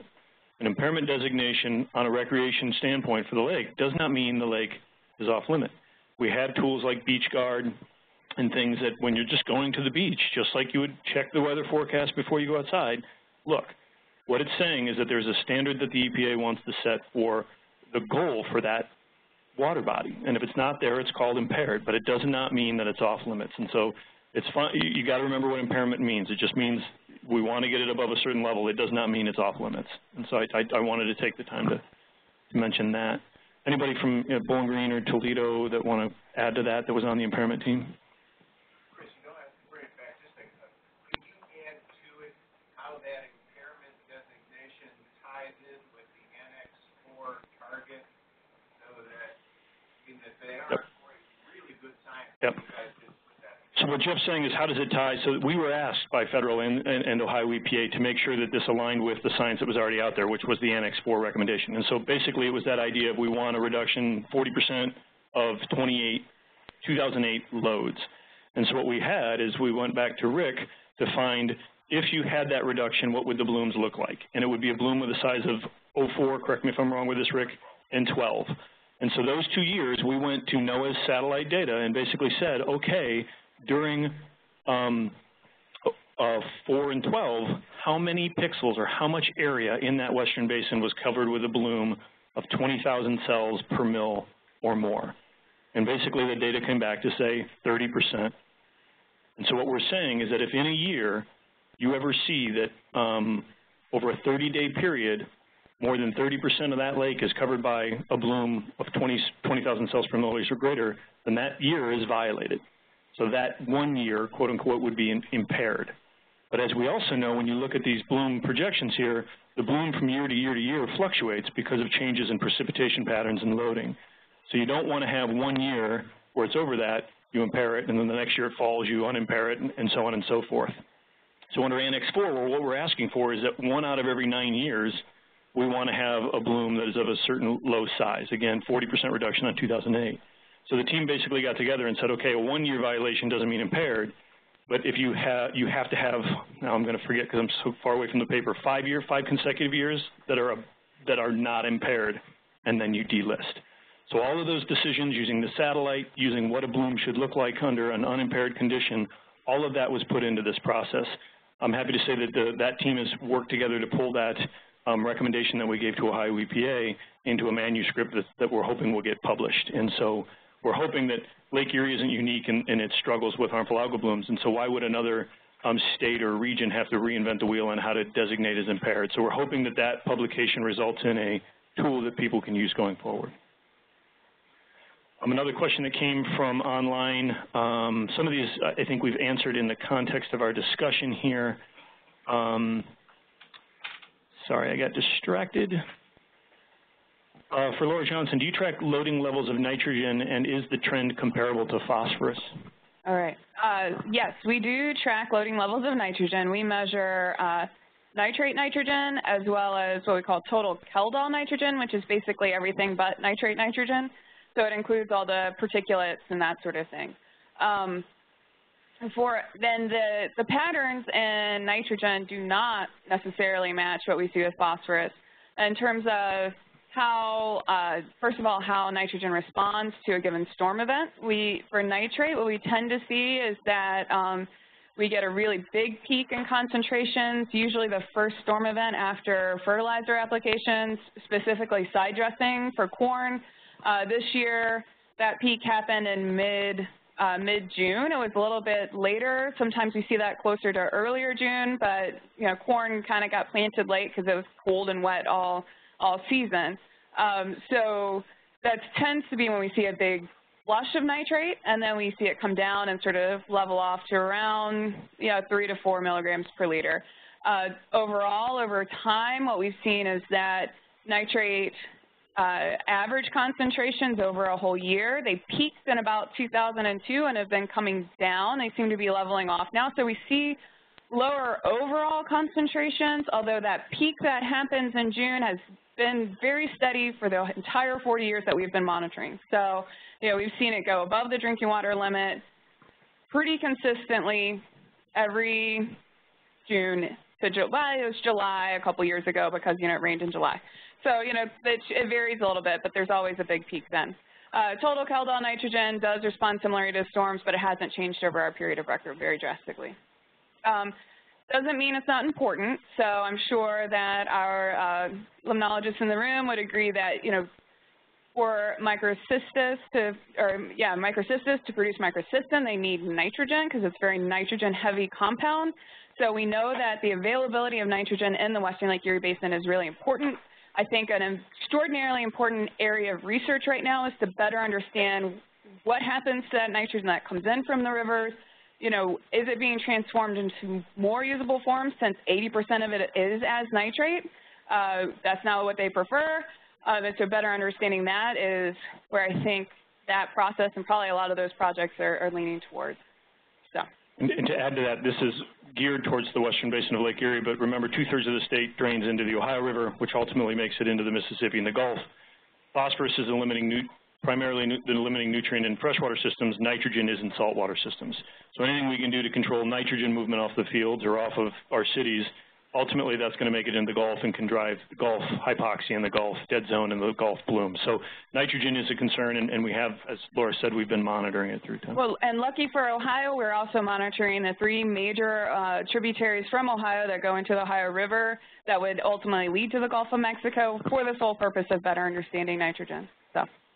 There's another question that came in that's uh, curious about the impacts of HABs on aquatic ecology and biodiversity. Um, there are some new projects that are ramping up in this space. Um, actually, we have a researcher from Ohio State that's teaching here at the lab now and, and conducting research, uh, Dr. Susan Gray. Um, she's with the School of Environment and Natural Resources. She's actually looking at fish vision. So what she's looking at is if you put um, emerald shiners in a tank and you add sediment turbidity um, versus algal turbidity, at what point can that fish no longer see um, to search for prey or forage. There, this year, that was all work done last year. This year, they're doing that for walleye. Um, so they've got tanks set over in the lab, and they're looking at when the vision of walleye is in, impaired. Um, we have looked at some of the toxicity as far as are you seeing the toxin in the fish flesh, and again, the concentration suggested if you follow fish consumption advisories, you're okay. Um, but if you look at uh, Stu Ludsin's lab right now, he's a researcher in the College of Arts and Sciences at OSU. He's just got a grant to look at the behavior um, um, in the physiology of fish that are found in, in, blooms.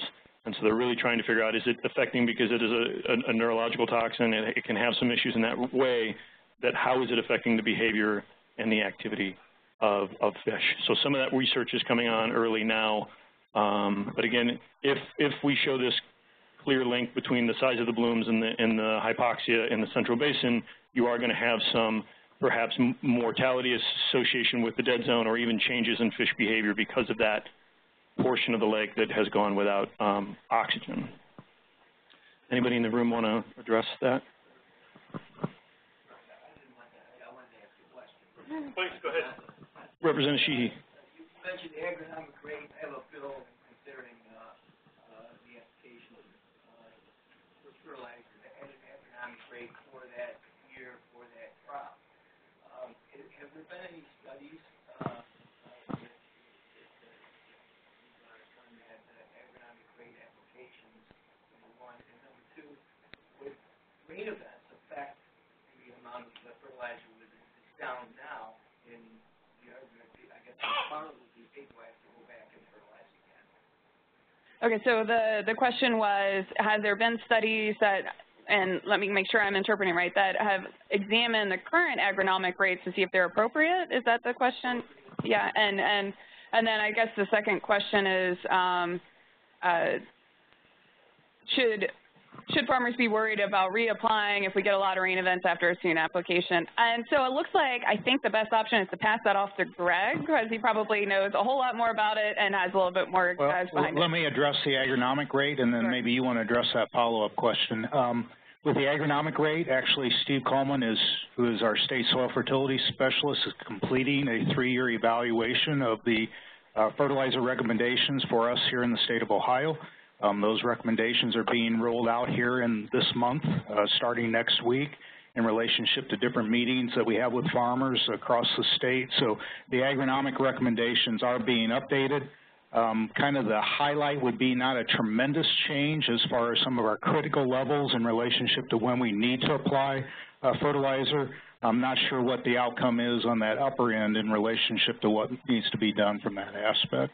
And then I don't know if you wanted to address the application type of questions um, from a rate. I can't, I mean, for phosphorus, I would say, you know, phosphorus is sticky. Even with the bit that we see running off, um, you know, we see maybe 5 to 10% of what's being applied coming off for phosphorus. So most of the time, once it's applied, it's really not going to go anywhere. And, and with the current, go right ahead, with the current management, you know, uh, recommendations for fertilizer, because there's a recommendation to have, you know, you know, this pot of crop available phosphorus.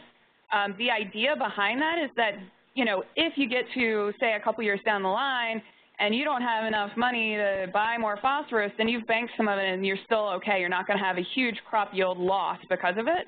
That could be part of the reason why we have the issues we have, but also it means that um, it, it helps protect against some of those issues. For nitrogen, I would think it is a different story, but I know that most farmers don't have the equipment to deal with reapplying nitrogen once the corn gets really tall. Um, although I think they should because, goodness, that would be, I would think they get a huge benefit out of that. Greg might want to add to it. Well, and let me just go back to the phosphorus. If we limit it to a single year application, then that farmer has that application cost every year.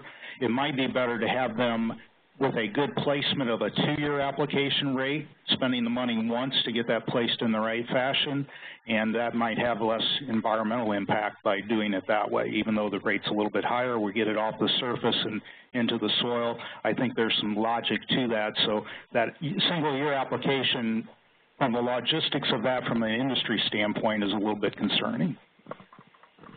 But this, this clearly comes back to, again, a, a farm field isn't a farm field isn't a farm field, and there are some places where you're going to have to have very specialized approaches to how you apply these fertilizers.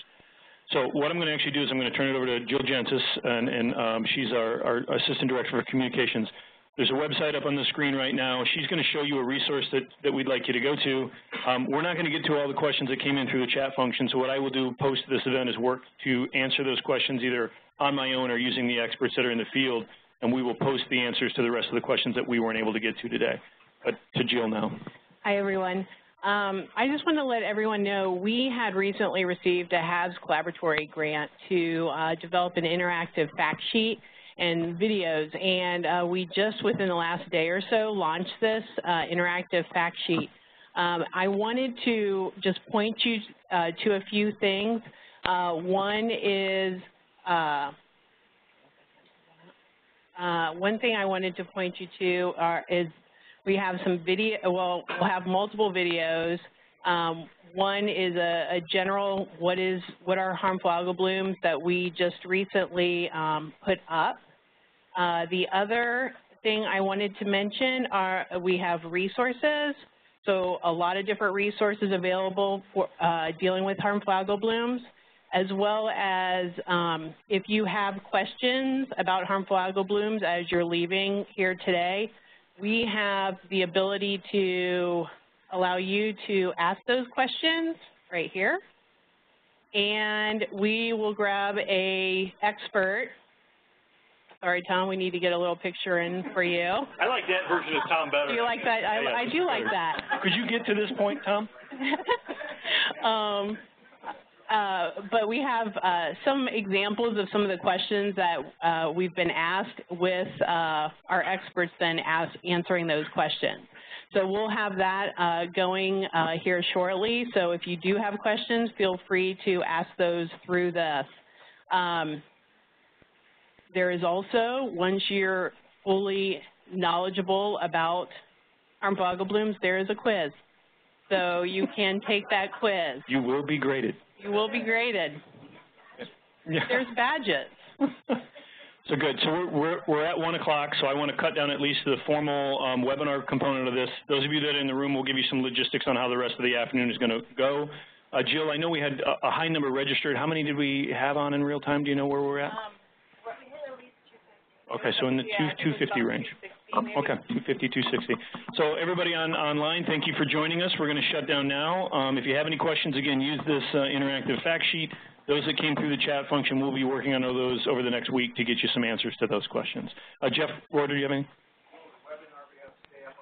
Yep, so the webinar has been recorded and it will be posted. Jill, will it come to here or it'll be posted tomorrow? Yeah, tomorrow we'll have it up. Okay, so at the URL behind me on the screen, so it's go.osu.edu forward slash HAB forecast 2018, all one word. So it's go.osu.edu forward slash HABS forecast 2018, one word. So thanks everybody online and uh, have a great day.